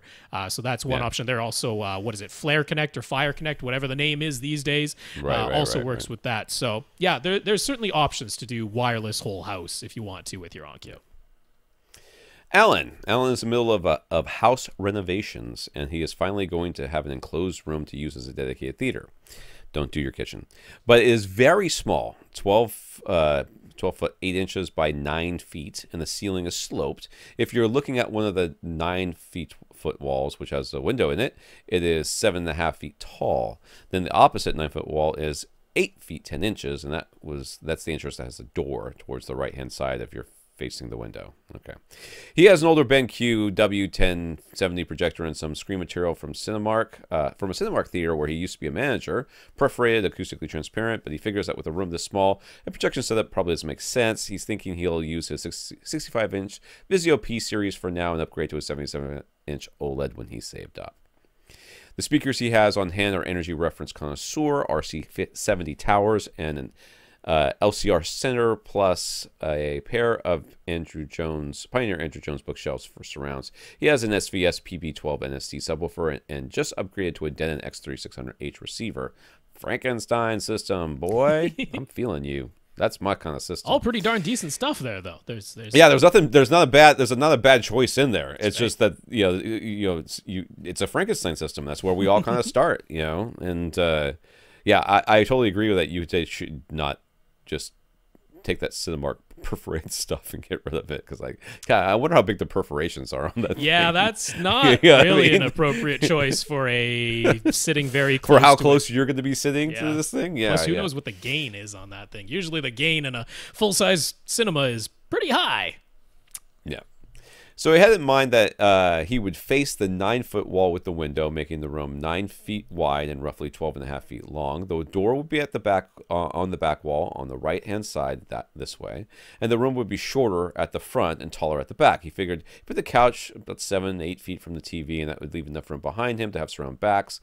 He wants to run his wires inside the walls before this renovation gets closed up. So what do we think about the layout? I have a not exactly unorthodox, but a a thought. Well, you know what I'm going to say about surround backs. Uh, we know what go- Tom just- going to say. about you know what you're gonna say about surround back. So, so uh, let me get this right. He's 12 and a half feet. And he's gonna six, six, seven to eight feet away from the TV. Mm-hmm. Uh, there's nothing wrong with that. I mean, I think that's a perfectly reasonable. The only thing I'm worried about Uh, is nine feet wide. How are you getting into your chair? You know, I mean, if it's I a mean, three, it's got it's. I mean, it's maybe a chair. well, I, I mean, like he's, he's shown what I assume is a love seat in here, but I'm like, it's still gonna be squishy as all get out. Like a three seater couch, not a wide three seater couch, a very normal three seater couch is seven feet wide. That leaves you one foot on either side. How are you going to get into your? So my Well, you do what I do, and you sl- slam the thing against a wall, and then you you have two feet, and then Two feet. the middle seat, the the middle seat is no longer the prime seat; it's right between the middle and the the seat that has you know. But I, I, mean? I, kind of I sit in the honestly think that he should rotate this entire setup 90 degrees. I think you should make the room 12 and a half feet wide and nine feet from front to back. I'm good with sitting seven feet from a 77 inch OLED, as we discussed in a previous question. Uh, you'll have two feet behind you. Now you don't have surround backs. We're not going to worry Woo-hoo! about surround backs with that. And, you know, with the room being 12 and a half feet wide instead of long, now you can actually have your surround speakers with a little bit of separation from your seat. They're not going to be like right on top of your seat. And you have a walkway where you can actually get to your seats this way. Right. Um. That, the, okay. So the up. The oh, say the other. Hit my hit my mic. Sorry. Uh. So what Rob's talking about is a is a good idea. I, I think that that's a perfectly fine idea. I think it would flip it to the well do you want the left do, yeah do you want the door in your front right corner or your rear left corner because those are your two yeah, options you, you want in your rear left corner. That's what I think. Okay. So, uh, what this really does is that it opens up Atmos for you. Yes. A lot easier because if you up. just go decide to go for seven point one or seven point whatever, then your surround backs are going to be basically on top of your Atmos speakers, and we're going to say you know whatever whatever. This way, you have five point two point four mm-hmm. or five point two point six. Uh, either way, it works, and you can have your uh, you know your speakers you know kind of almost you know at that back wall mm-hmm.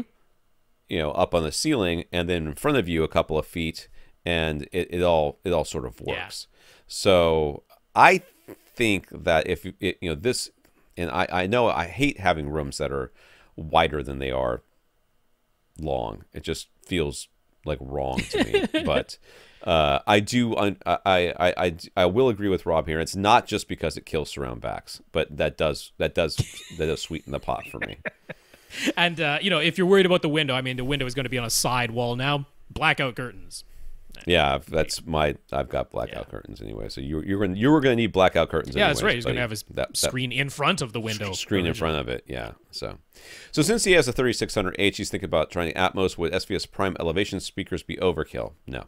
The actual roof is only a foot above the slope ceiling, so in-ceiling speakers aren't really an option. He isn't sure what would make the most sense for mounting a prime elevations. Put them on the ceiling, even though the ceiling is sloped. Put them in the front and back walls, even though the walls have different heights. Keep the heights of the prime elevations the same and have different gaps above them to the ceiling, or maybe use the prime uh, satellites instead since they have a threaded insert. You could use a wall mount that pivots with those.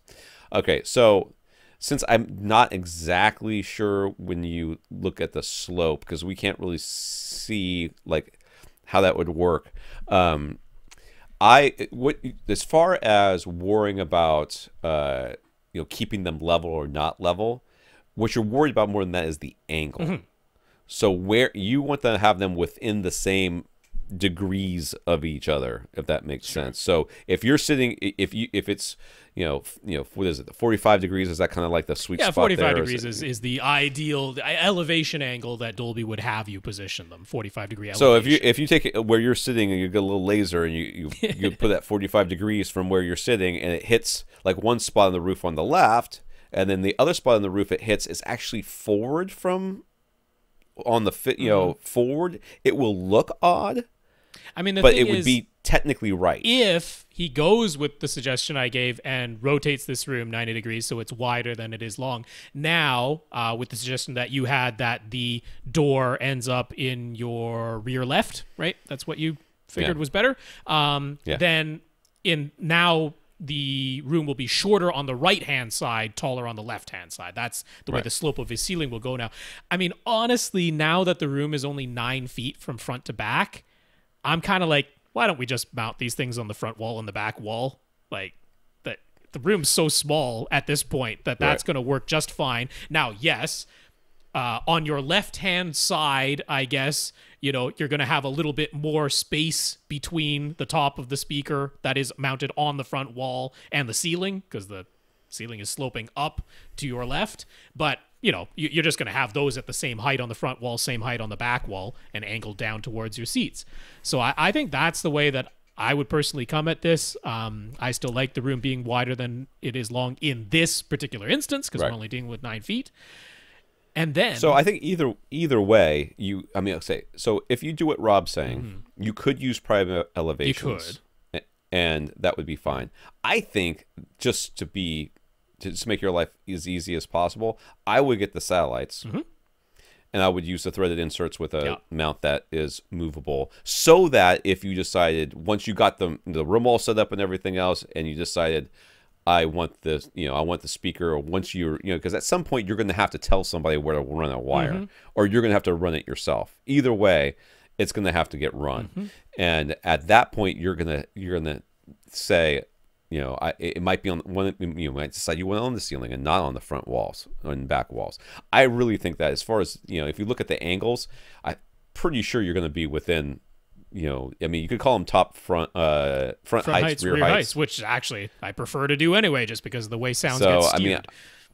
I think that that that would be the easiest way to go, Yeah. and it, it actually kind of comes together. It does. honestly. Yeah. Uh, comes together. also, I mean, he has a single PB12 NSD right now. Perfectly wonderful choice for this room size, but I want you to get a second sub. Yes, He's got a budget. And I mean, honestly, for your four Atmos speakers, why not save some money? They're, they're, they're just not playing anything so important that they that you need a lot of money spent on those.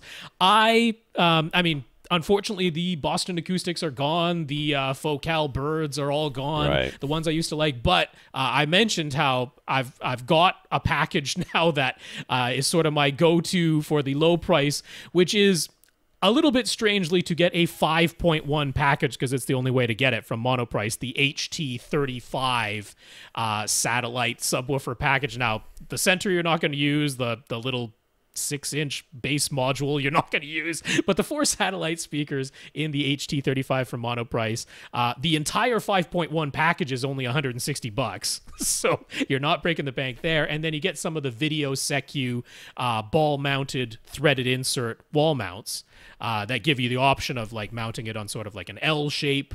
Uh, threaded insert or just a straightforward that pivots and swivels and everything like that. Uh, I-, I would do that because for basically what about a 225 bucks? You've got all four of your atmos speakers that you can angle and aim in whatever way and those monoprice uh, ht35 satellites are perfectly fine as atmos speakers. So i would save money on the atmos. That's what i would do in this scenario and now you can afford to get a second sub which is way more important. Uh, so the energy towers seem a bit big for such a small room, but he already owns them, and he still has the optional port plug, so he could position them close to any walls. Reference connoisseur bookshelf models can still be found, and he wouldn't mind having matching speakers all around instead of the Pi- Pioneer surrounds. He's got $1,200 in hand that he can spend on speakers, but he could potentially sell his energies and Pioneers, although he isn't sure how much you get for them. Uh, the thought crosses his mind to go all SVS Prime series. What do we think he should do speaker wise? So the easiest thing to say is stick with what you got mm-hmm. and just see how it all sounds when you mm-hmm. put it together. And I think that's probably what I'm going to suggest you Yeah. do. I know that you you want to you want to continue to upgrade and maybe everything.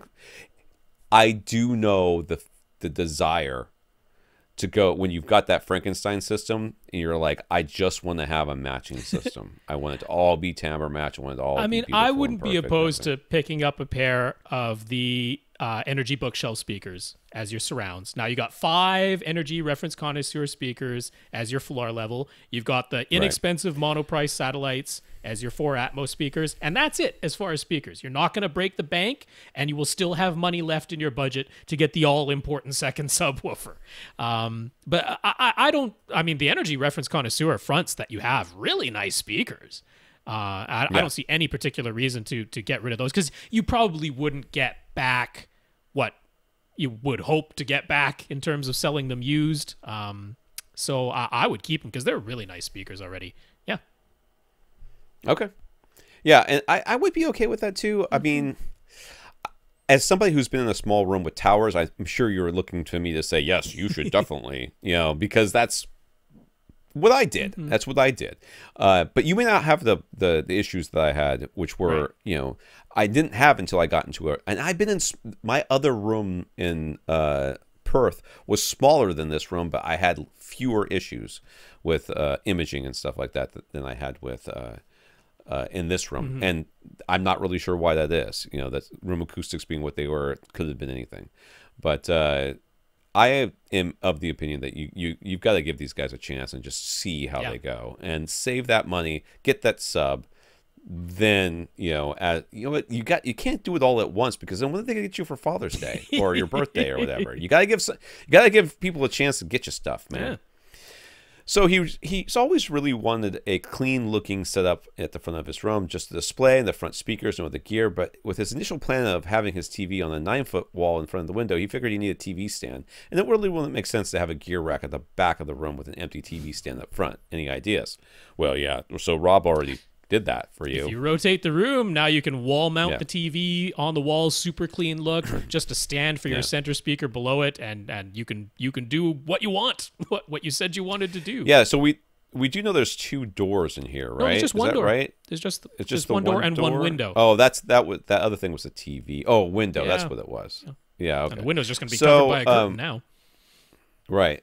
So yeah, you now you can put your you can run all your wires to the back of your room. You put your your gear, you know, in the back there or something like that, and have that nice little clean look that you're looking for. Yeah, I mean, uh, I I don't mind having a rack up front. I feel I feel like the the the things the benefits you get from having a, a rack near the front of your room you know, as far as running wires and everything else, you don't have to worry about long HDMI. Yeah. cables. You don't have to worry HDMI about all that stuff. 2.1, there's going to be your reason for having it up Yeah. front. Yeah.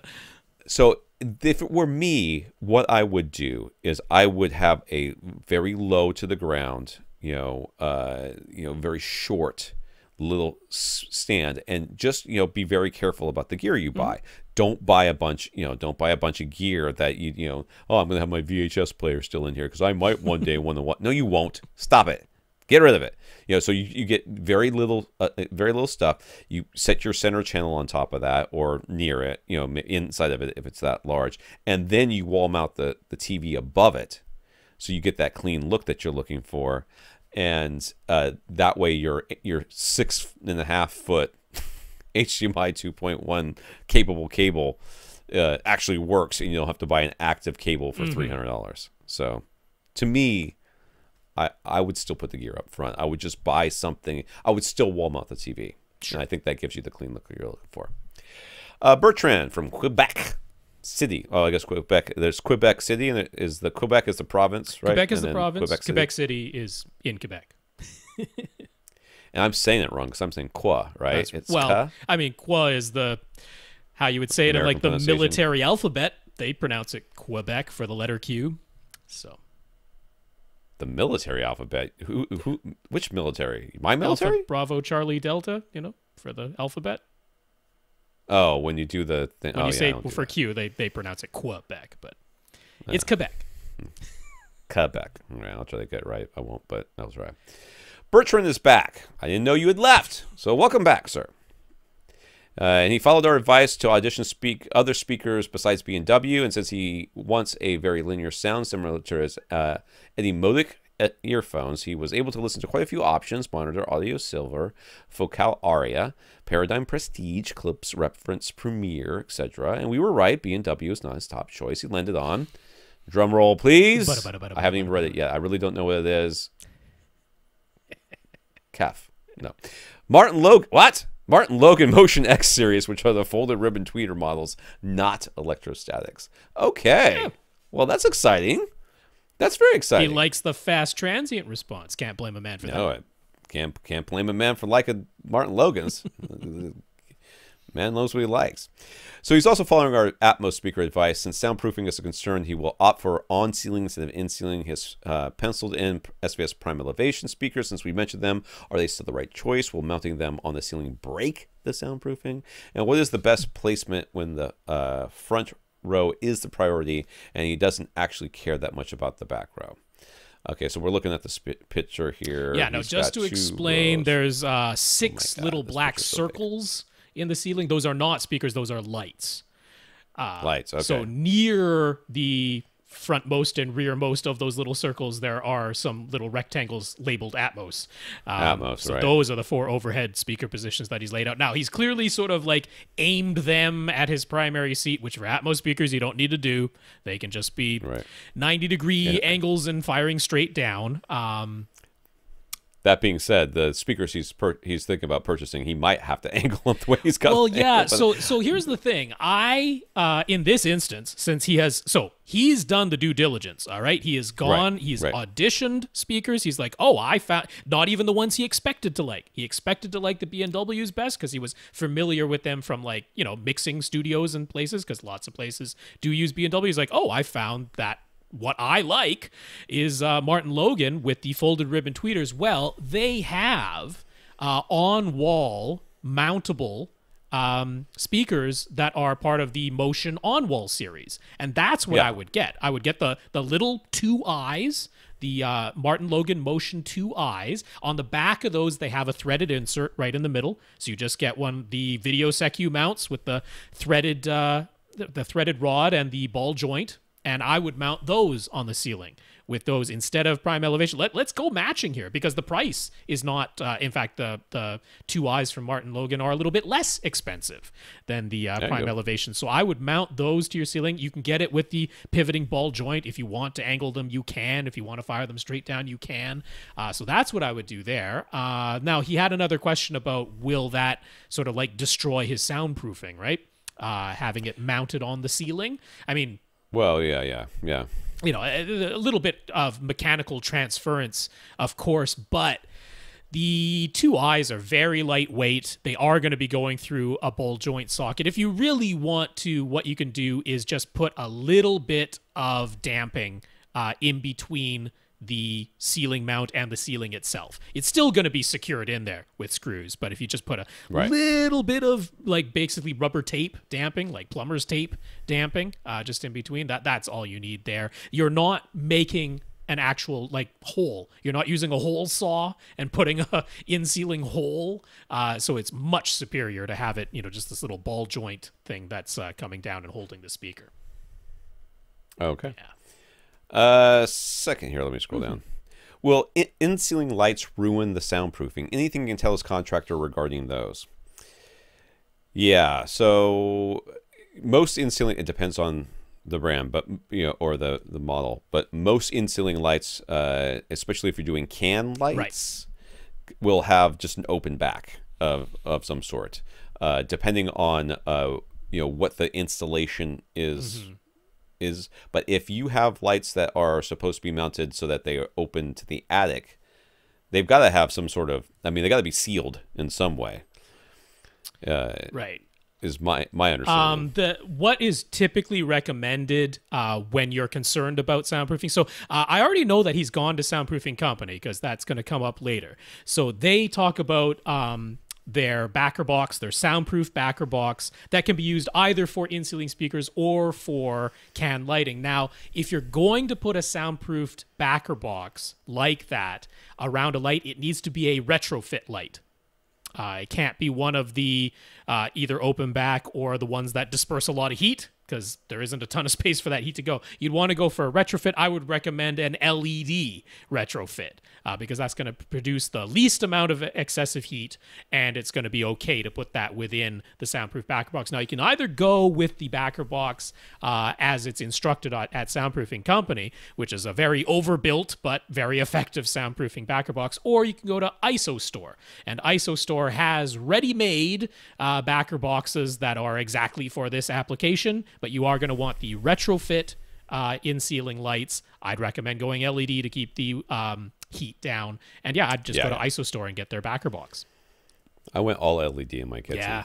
i just just went all led i mean they're like oh it'll last 50000 hours i'm like no it won't it'll last like three months they always last three months it doesn't make any difference and they make a difference how long you know how much you spend on the bulb it lasts three months but everything in my kitchen now is led and i didn't do it necessarily because you know uh yeah i i just did it because i i, I wanted to have uh bulbs that were not screaming hot all the time Right. basically Exactly. you know? And uh because i never a bulb never breaks when it's cold. It only breaks when it's hot. He says should you put his surround speakers on shelves or use side clamping wall mounts? What are the pros and cons of each? Well uh it's very easy to damp a speaker that is on a shelf. you know, you put the shelf in the wall, and then you put something between the the, the speaker and the shelf that damps it, and now suddenly you're not just limited to this you know one mount that you've got and if you decide later on you want to switch speakers you just unplug Right. it and put a new one on top of the shelf uh, and you know you also now depending on how you set these things up have a place to put other stuff Yep. you know whatever that might be And if you want to put any, uh, you know, like some two inches of uh, insulation behind the surround speaker, Yeah. easier to do with a shelf. I suppose it's Yeah. maybe a, a slight tad more difficult to tilt them vertically on a shelf, but it's not really because you can get, you know, just those little foam wedges, which will act as Right. both decoupling and an angle. So Yeah. uh, I would probably opt for the shelf in your case. You're only talking about two. He wants a five speaker setup, not doing surround backs. Tom is a fan of that. Yeah. Uh, so yeah, I, I would go shelves. let's just remember that I have suggested to people that they get surround backs before. I don't know. I know. I like a to. thing as of late. It's a. It, I'm. A, I've memed myself. How did I do that? So he plans to get an SVS SB2000 Pro sub. Do we expect Black Friday discounts? Do they give any deals for AV Rant listeners since we record them so often? No, they don't give any deals. but they guys. do Sorry, have their outlet store, and they definitely run Black Friday deals. There's no question Yeah. that SVS runs Black Yeah. Friday deals. I would not be shocked to my core if this put year out a SB2000 not Pro. the not pro, the regular 2000, because we had the NSDs show up yeah, the NSDs were like, More- wait a second, where'd you come more from? More years than we expected. now they've replaced the 2000 series with the 2000 Pro. Uh, if there were some Black Friday 2000 series, now we don't know anything about this. We're joking about We- it and no one's talking about us. Yeah, we we are. This is completely speculation, but, but i- I would if it happened, bet a lot of money on it. let, us just say I. I I would not be I would like, not- shocked out of bed to see that on my No. phone if I looked it up. So, uh, yeah, waiting for Black Friday, not a bad idea at all. Get two, get two. You want two subs in here, not just one. So, how high should he mount his TV and center speaker? The room is rough, roughly 13 by 15, and he'll uh, be about seven feet from a 77 inch OLED. Mm-hmm. So, I don't know how high your chair is, so that's Right. like the number one thing. What you you know the, the rule of thumb is that your eye level, and remember it's your seated preferred dis you know prefer way to watch this Your movie. resting you're- eye you're- line, right? That, uh, this is so if you are sitting in a recliner Hmm, it's gonna go up a little bit. and you recline back, then it's not, you know, it, your resting eye is actually aimed up slightly, you know. So, it- you know, it, it- that should be about a third from the bottom of the screen. Yes, yeah, yeah. The easy way to think of it is, yeah, resting eye line. Uh, if you go one third up of the screen's height from the bottom of the screen, that's that's where we would like it to land. Now, in the case of a 77 inch OLED, that's going to basically be a foot above. So you take the bottom edge of the screen, one foot up is one third of that screen's Right. height, uh, 32 centimeters if you want to be exact. Um, so assuming that your resting eye line, like most people's resting eye line in a typical chair, is going to be at about 40 inches. That that that's pretty average. 36 to 42 inches is where it tends to fall. So in essence, you should have about two feet, maybe a little bit more than two feet below the bottom of your TV. Um, if you put the bottom of your TV at two feet off the ground, uh, or just a little bit more, maybe 28 inches or something like that, uh, you you'd be right right in the butter zone. All right. Uh, so he would like to go with a Marantz receiver. Should he get the SR7015 or pay more for the SR8015? now, remind me how many. uh, You said he's got five speakers. We want him to get two subwoofers, but that's immaterial. 5.2.4 is what he's going for. He's going to be going for. So I don't remember what the differences are between the SR70 and the 80. Right. So the 7015 can process 11 speakers but has 9 amplifiers built in. So it can run the 5.2.4. The 8015 goes up to processing 13 channels and has 11 amplifiers built into it. You you don't need either of those Need things. that. Now, of course, he's looking at it's the flagship. It's got the bigger power supply. Gene gave it a very glowing review get the 7015. It's a significant amount of money, and for the features Right. that you're going to use, get the 7015. There's really Right. no question. Easy one, that one. So he'll have he will have his 77 inch OLED to start, but he would like to leave the option open to have a projector with a motorized roll down screen. Since the room is still under construction, what should he do before the ceiling and walls are all closed up? Are there any special mounting concerns for the motorized screen, or can it just be bolted to the ceiling in the future? Uh, so it needs power, Yes. but it's not. It's it's uh, usually low voltage power, uh, but it depends on the screen you are looking at. So what I would do is, and I'm sure Rob's going to tell you anyways, but uh, if it were me, I would go to, you know, Elite Screens or you know Seymour AV and just look at what the power requirements are, and then I would have something available in uh, you know up uh, on the ceiling near the front of this room so that you would know you would know that you could necessarily plug something in but you could wire something Right. Like his room is not super long, right? It's under 15 Right. feet long. So chances are uh, your projector is going to be right on your back wall. Uh, so I would have an outlet high up, either high up on the back wall or on the ceiling near the back wall. So I, I would get that electrical wired there. Um, it would be a good idea to run conduit. Uh, because there's not much point in running a long HDMI cable right now to where the projector is going to be, but run conduit because you're going to want to have with a string in it yeah. You're going to want to be make sure there's a string you're going to want to be able to pull cables in the future to the location of your projector. So assume that your projector is going to go high up on your back wall or maybe it'll be mounted to the ceiling, but essentially at the back of your room. That's that is where it's going to be. So make sure there's electrical and conduit there so that uh, any future cables can be pulled through. And at the front of your room, uh, yeah, have an outlet that's high up on the front wall or on the ceiling on the front wall. Uh, you can definitely mount a motorized um, projection screen to the existing ceiling. It does not have to be recessed. Uh, you could mount it to the front wall, in fact, if, if the OLED is thin enough. Uh, but but that you know that that you don't have to have special concerns. It's really just that you need an electrical outlet there. Uh, you might might want to run conduit to the projection screen location as well because you might want to run a trigger cable. That that would be about the only additional uh, cable So- that might go to the screen. Right. If you're going to do that, then what you would do, because I, I did that in my home theater uh, in Jacksonville. And what you would want to do is you would want to run, it's usually, you know, like Ethernet or something along those lines, that uh, you run from the, where the projector will be down to a, a wall outlet. Okay. So you you would you would need to have that available to you and either know where it is in the wall or uh, you could actually just have that wire run and have like a blank a blank plate put on top of that and then it would be ready to go for later. Uh, and that's you know that's a that's a really easy thing for them to do. These Yeah. these guys aren't going to The other thing I should say is for the outlet that's going to be up high at the back of your room for your projector, um, Oh, right. don't just make it a regular outlet. Don't run that outlet back to your electrical panel. What we really want to do is decide where your equipment is going to live. Um, I don't know if that's outside of this room or inside this room, but decide where your equipment is going to live. You're going to want to have a battery backup where your equipment lives. Right. So what you want is a regular female outlet that is high up on your back wall or at the back on your ceiling for your projector.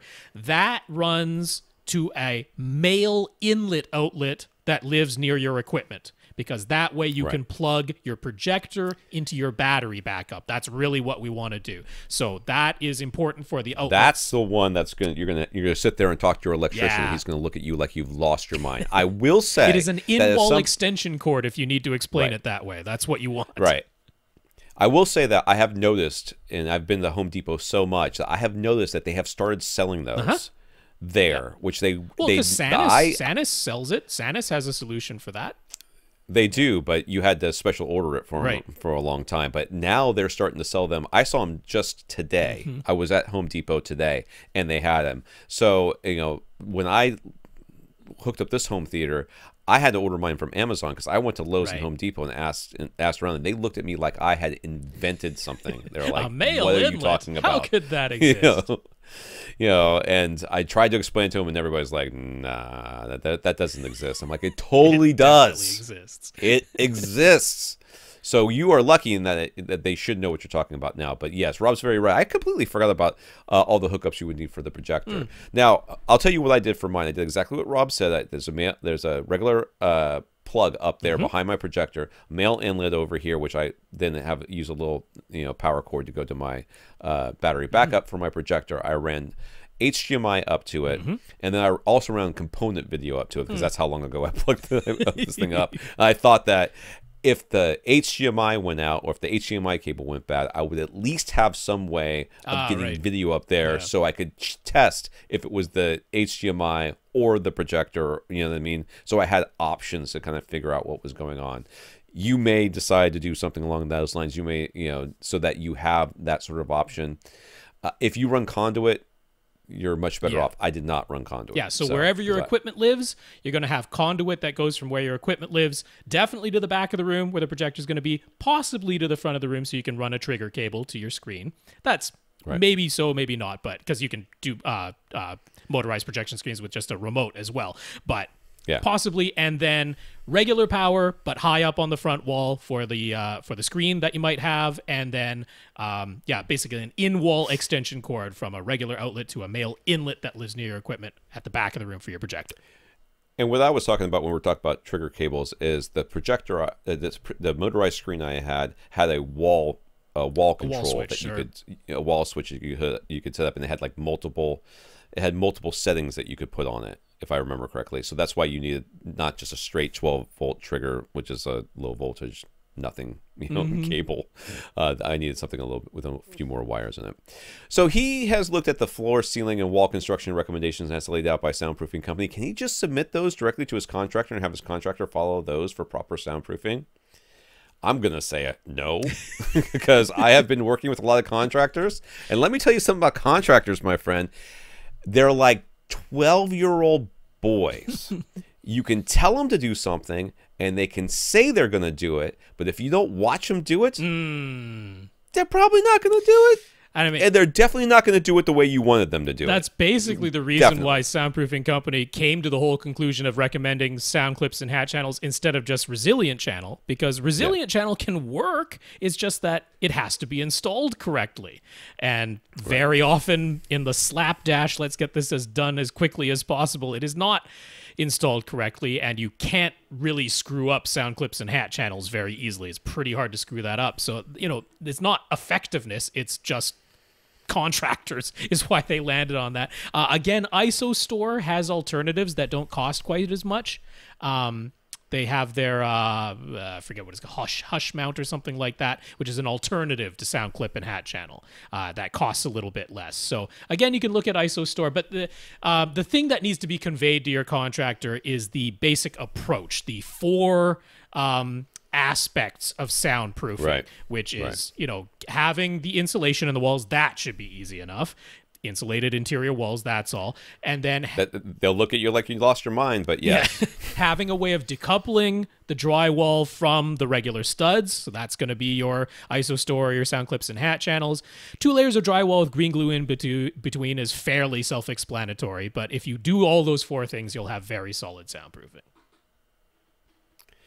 All right, uh, we have time for one more. So Gurinder, Gurinder would like to add some velvet to on his ceiling, and some mirrors. Yeah, and on anyway, some velvet on his ceiling on his side walls, all around his projection screen. For the side walls, he had blacked out curtains until now. So would it make sense, more sense for the side wall velvet to be curtains, or does it need to be flat and smooth in order to get the best shadow box performance?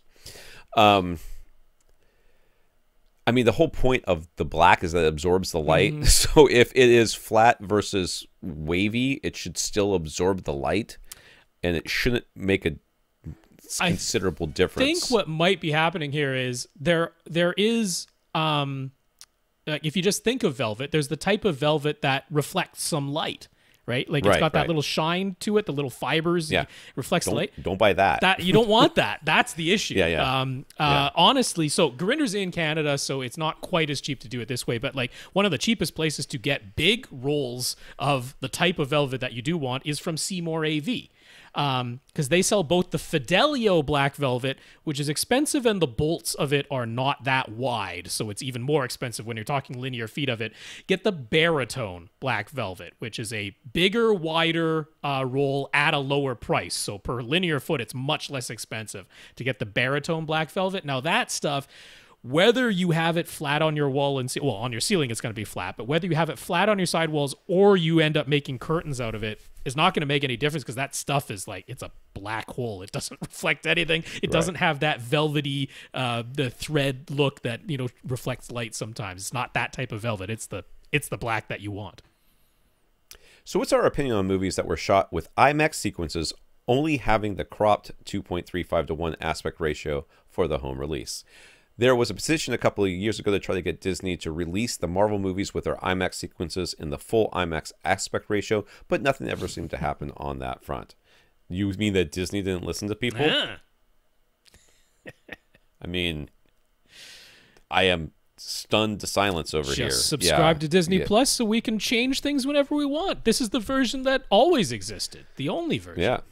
The only version with the sequences in Star Wars that I will never see because I'm never watching Hmm. it on that ever. I still have the VHS version. That is Right. the original original. Right? I mean, I can't watch it. There's no way. I don't have a VHS player, but I own it and I ain't throwing it away. Uh, so I mean, Uh, uh, with the way I think about it, I think that uh, um, I think that when the movie was originally shot, Mm-hmm. uh, I care about what the director was looking at, not what was the native aspect ratio. Okay. So if the director was thinking, you know, this is mostly going to be viewed in a you know in a two point three five to one aspect ratio or sixteen by nine or whatever. It's two point three five to one. So therefore, I I care about this bit mm-hmm. and making sure that this bit and if there's other stuff that's in the IMAX version because we have to have an IMAX version, that's fine. Then I want to see the 2.35 to 1 version. I don't care that there's an IMAX version out there. Mm. If they shot it for IMAX, mm. with IMAX being the, the, the, the point, then yes, I want to see the IMAX version. We will never know because no one will ever tell us. But yes, that that is what would make the decision for me about whether or not I would care about that. Okay. I mean, I I want the original um, aspect ratios. If the aspect ratios switched in the movie, I want that. That that's me. Right. Uh, this is one of the reasons why I with projection screens, I want 16 by 9 projection screens and not CinemaScope 2.35 to 1 projection screens at home. Uh, that's why I'm in favor of getting the 16 by 9 projection screen because if the aspect ratio changes, I don't want my screen cropping off the top and bottom. I want to be able to see the entire image. I've always been in favor of that. I like movies like The Dark Knight that switch aspect ratios and give me the larger image. I would love it if they went beyond 16 by 9 and actually had pillar boxes on the left and right so that I could really get the entire IMAX ratio instead of cropping it to 16 by 9 that they do for the home releases. Right. But I'll take 16 by 9 over cropping everything to 2.35 to 1 when the original movie release had things that were shot in actual IMAX. Uh, so that's me. I, I would love to have the IMAX stuff. Uh, if if IMAX Enhanced manages to give us that, then uh, then I'll take all the problems with the manual settings of DTS:X in order to get that part of it. Uh, yeah, that's my take. I, I would prefer to have it that way. Right. So I actually, uh, I was. This came up in like randomly. I was watching the the the brand new episode of The Mandalorian. So there's only one out right now because they release them once a week. And I watched that last night. At the very end, they it they they they slowly cropped it from Right. you know 16 by 9 to to 2.35 to one uh, as a sort of a dramatic choice. And if somebody said, "Wait a second, you just cut a bunch of stuff out," where's the rest of that stuff? I'm like, no, you missed it. You missed the point. The point is, is that this suddenly became it, it gave it a completely different feel. So you know, I guess that's sort of you know you know, director's intent is very important to me in this case.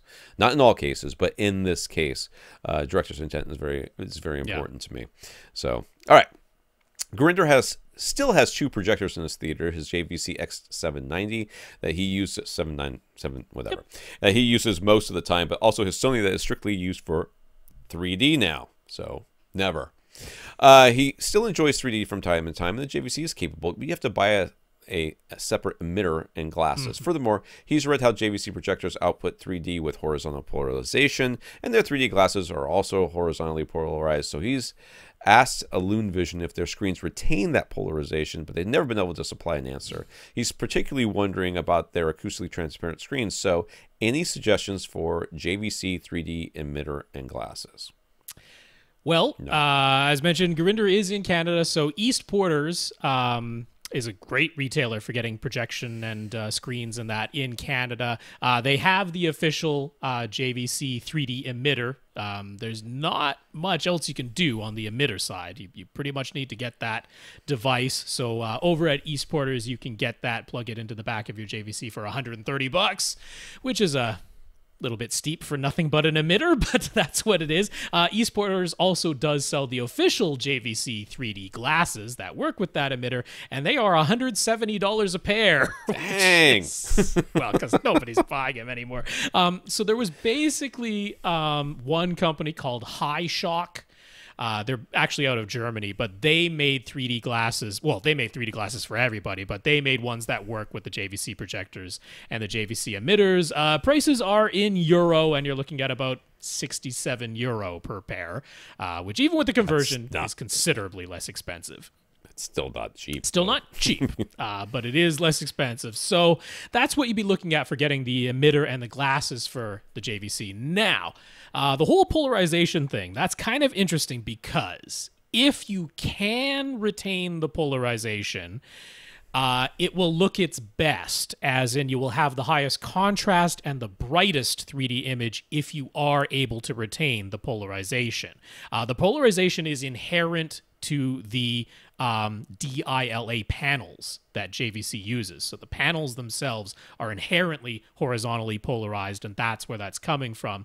Uh, and you will get the highest contrast and the brightest image if you can retain it, but it is not strictly necessary. Uh, these are active shutter glasses, and on a plain white screen, uh, you will still get the 3D effect. It won't be quite as bright it won't have quite as high contrast, but it will work. It will function on just a regular white screen. So, in that sense, you can use any of the Elunevision um, acoustically transparent screens. Uh, the active shutter glasses will still work and give you the 3D effect. If you do want an acoustically transparent screen that retains polarization, Elite Screens has uh, their what is it? Uh, Aeon CineGrey 3D. Uh, Aeon Ray. Aeon CineGrey 3D retains polarization and is available with perforations to make it acoustically transparent. Uh, but to retain the polarization, it does have to be a silver type of screen. Uh, those are mm. the hmm. only ones that will work uh, with polarization to retain it. So, like I say, it's it's not strictly necessary. It'll still function with just a white screen. All right. Who do we have left? We have Nick B, Infinite Gary, Kevin T, Stan L, Chad B, and I'm pretty sure there's one more below Chad's, which is Jack R. That's everybody right. on the list for next week, uh, plus anything that came in Monday and Tuesday. And if you want to get your question answered on this podcast, all you have to do is ask. You ask by emailing us at question at avrant.com. Mm-hmm. We want to thank our listeners of the week. We want to thank Alan, Aras, Kevin, Chad, and Bertrand for going to avrant.com and clicking on the Buy Us a Cup of Coffee link, as well as our 122 patrons over at patreon.com. Yes, indeed. Alan, Aras, Kevin, Chad, and Bertrand, thank you all so much for those PayPal donations. Really nice to see, and uh, yeah, appreciate it very much.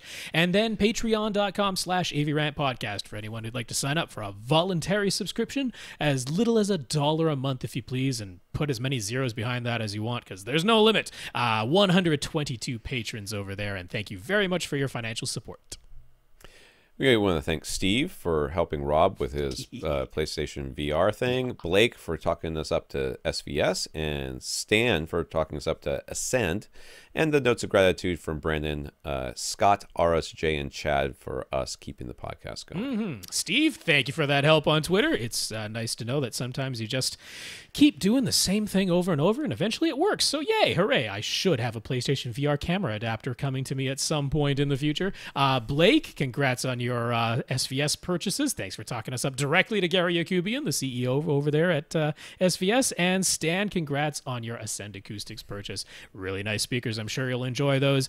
Brandon, Scott, Aras, Jay, and Chad, thank you all so much for those notes of gratitude and encouragement. They go a long way these days, so it's very much appreciated. And a big thank you to everybody who continues to listen. Uh, send in those questions. We'll keep the podcast going. That's how it works. For AV Rant, I'm Tom Andry. And I'm Rob H. Now stay in and listen to something.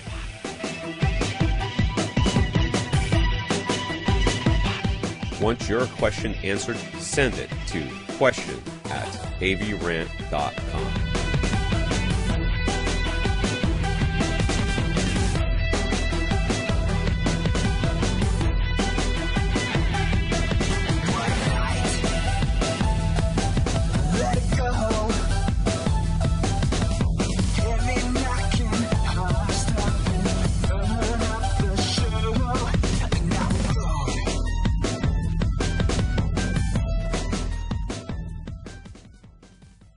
This is AV Rant. Now go out and listen to something.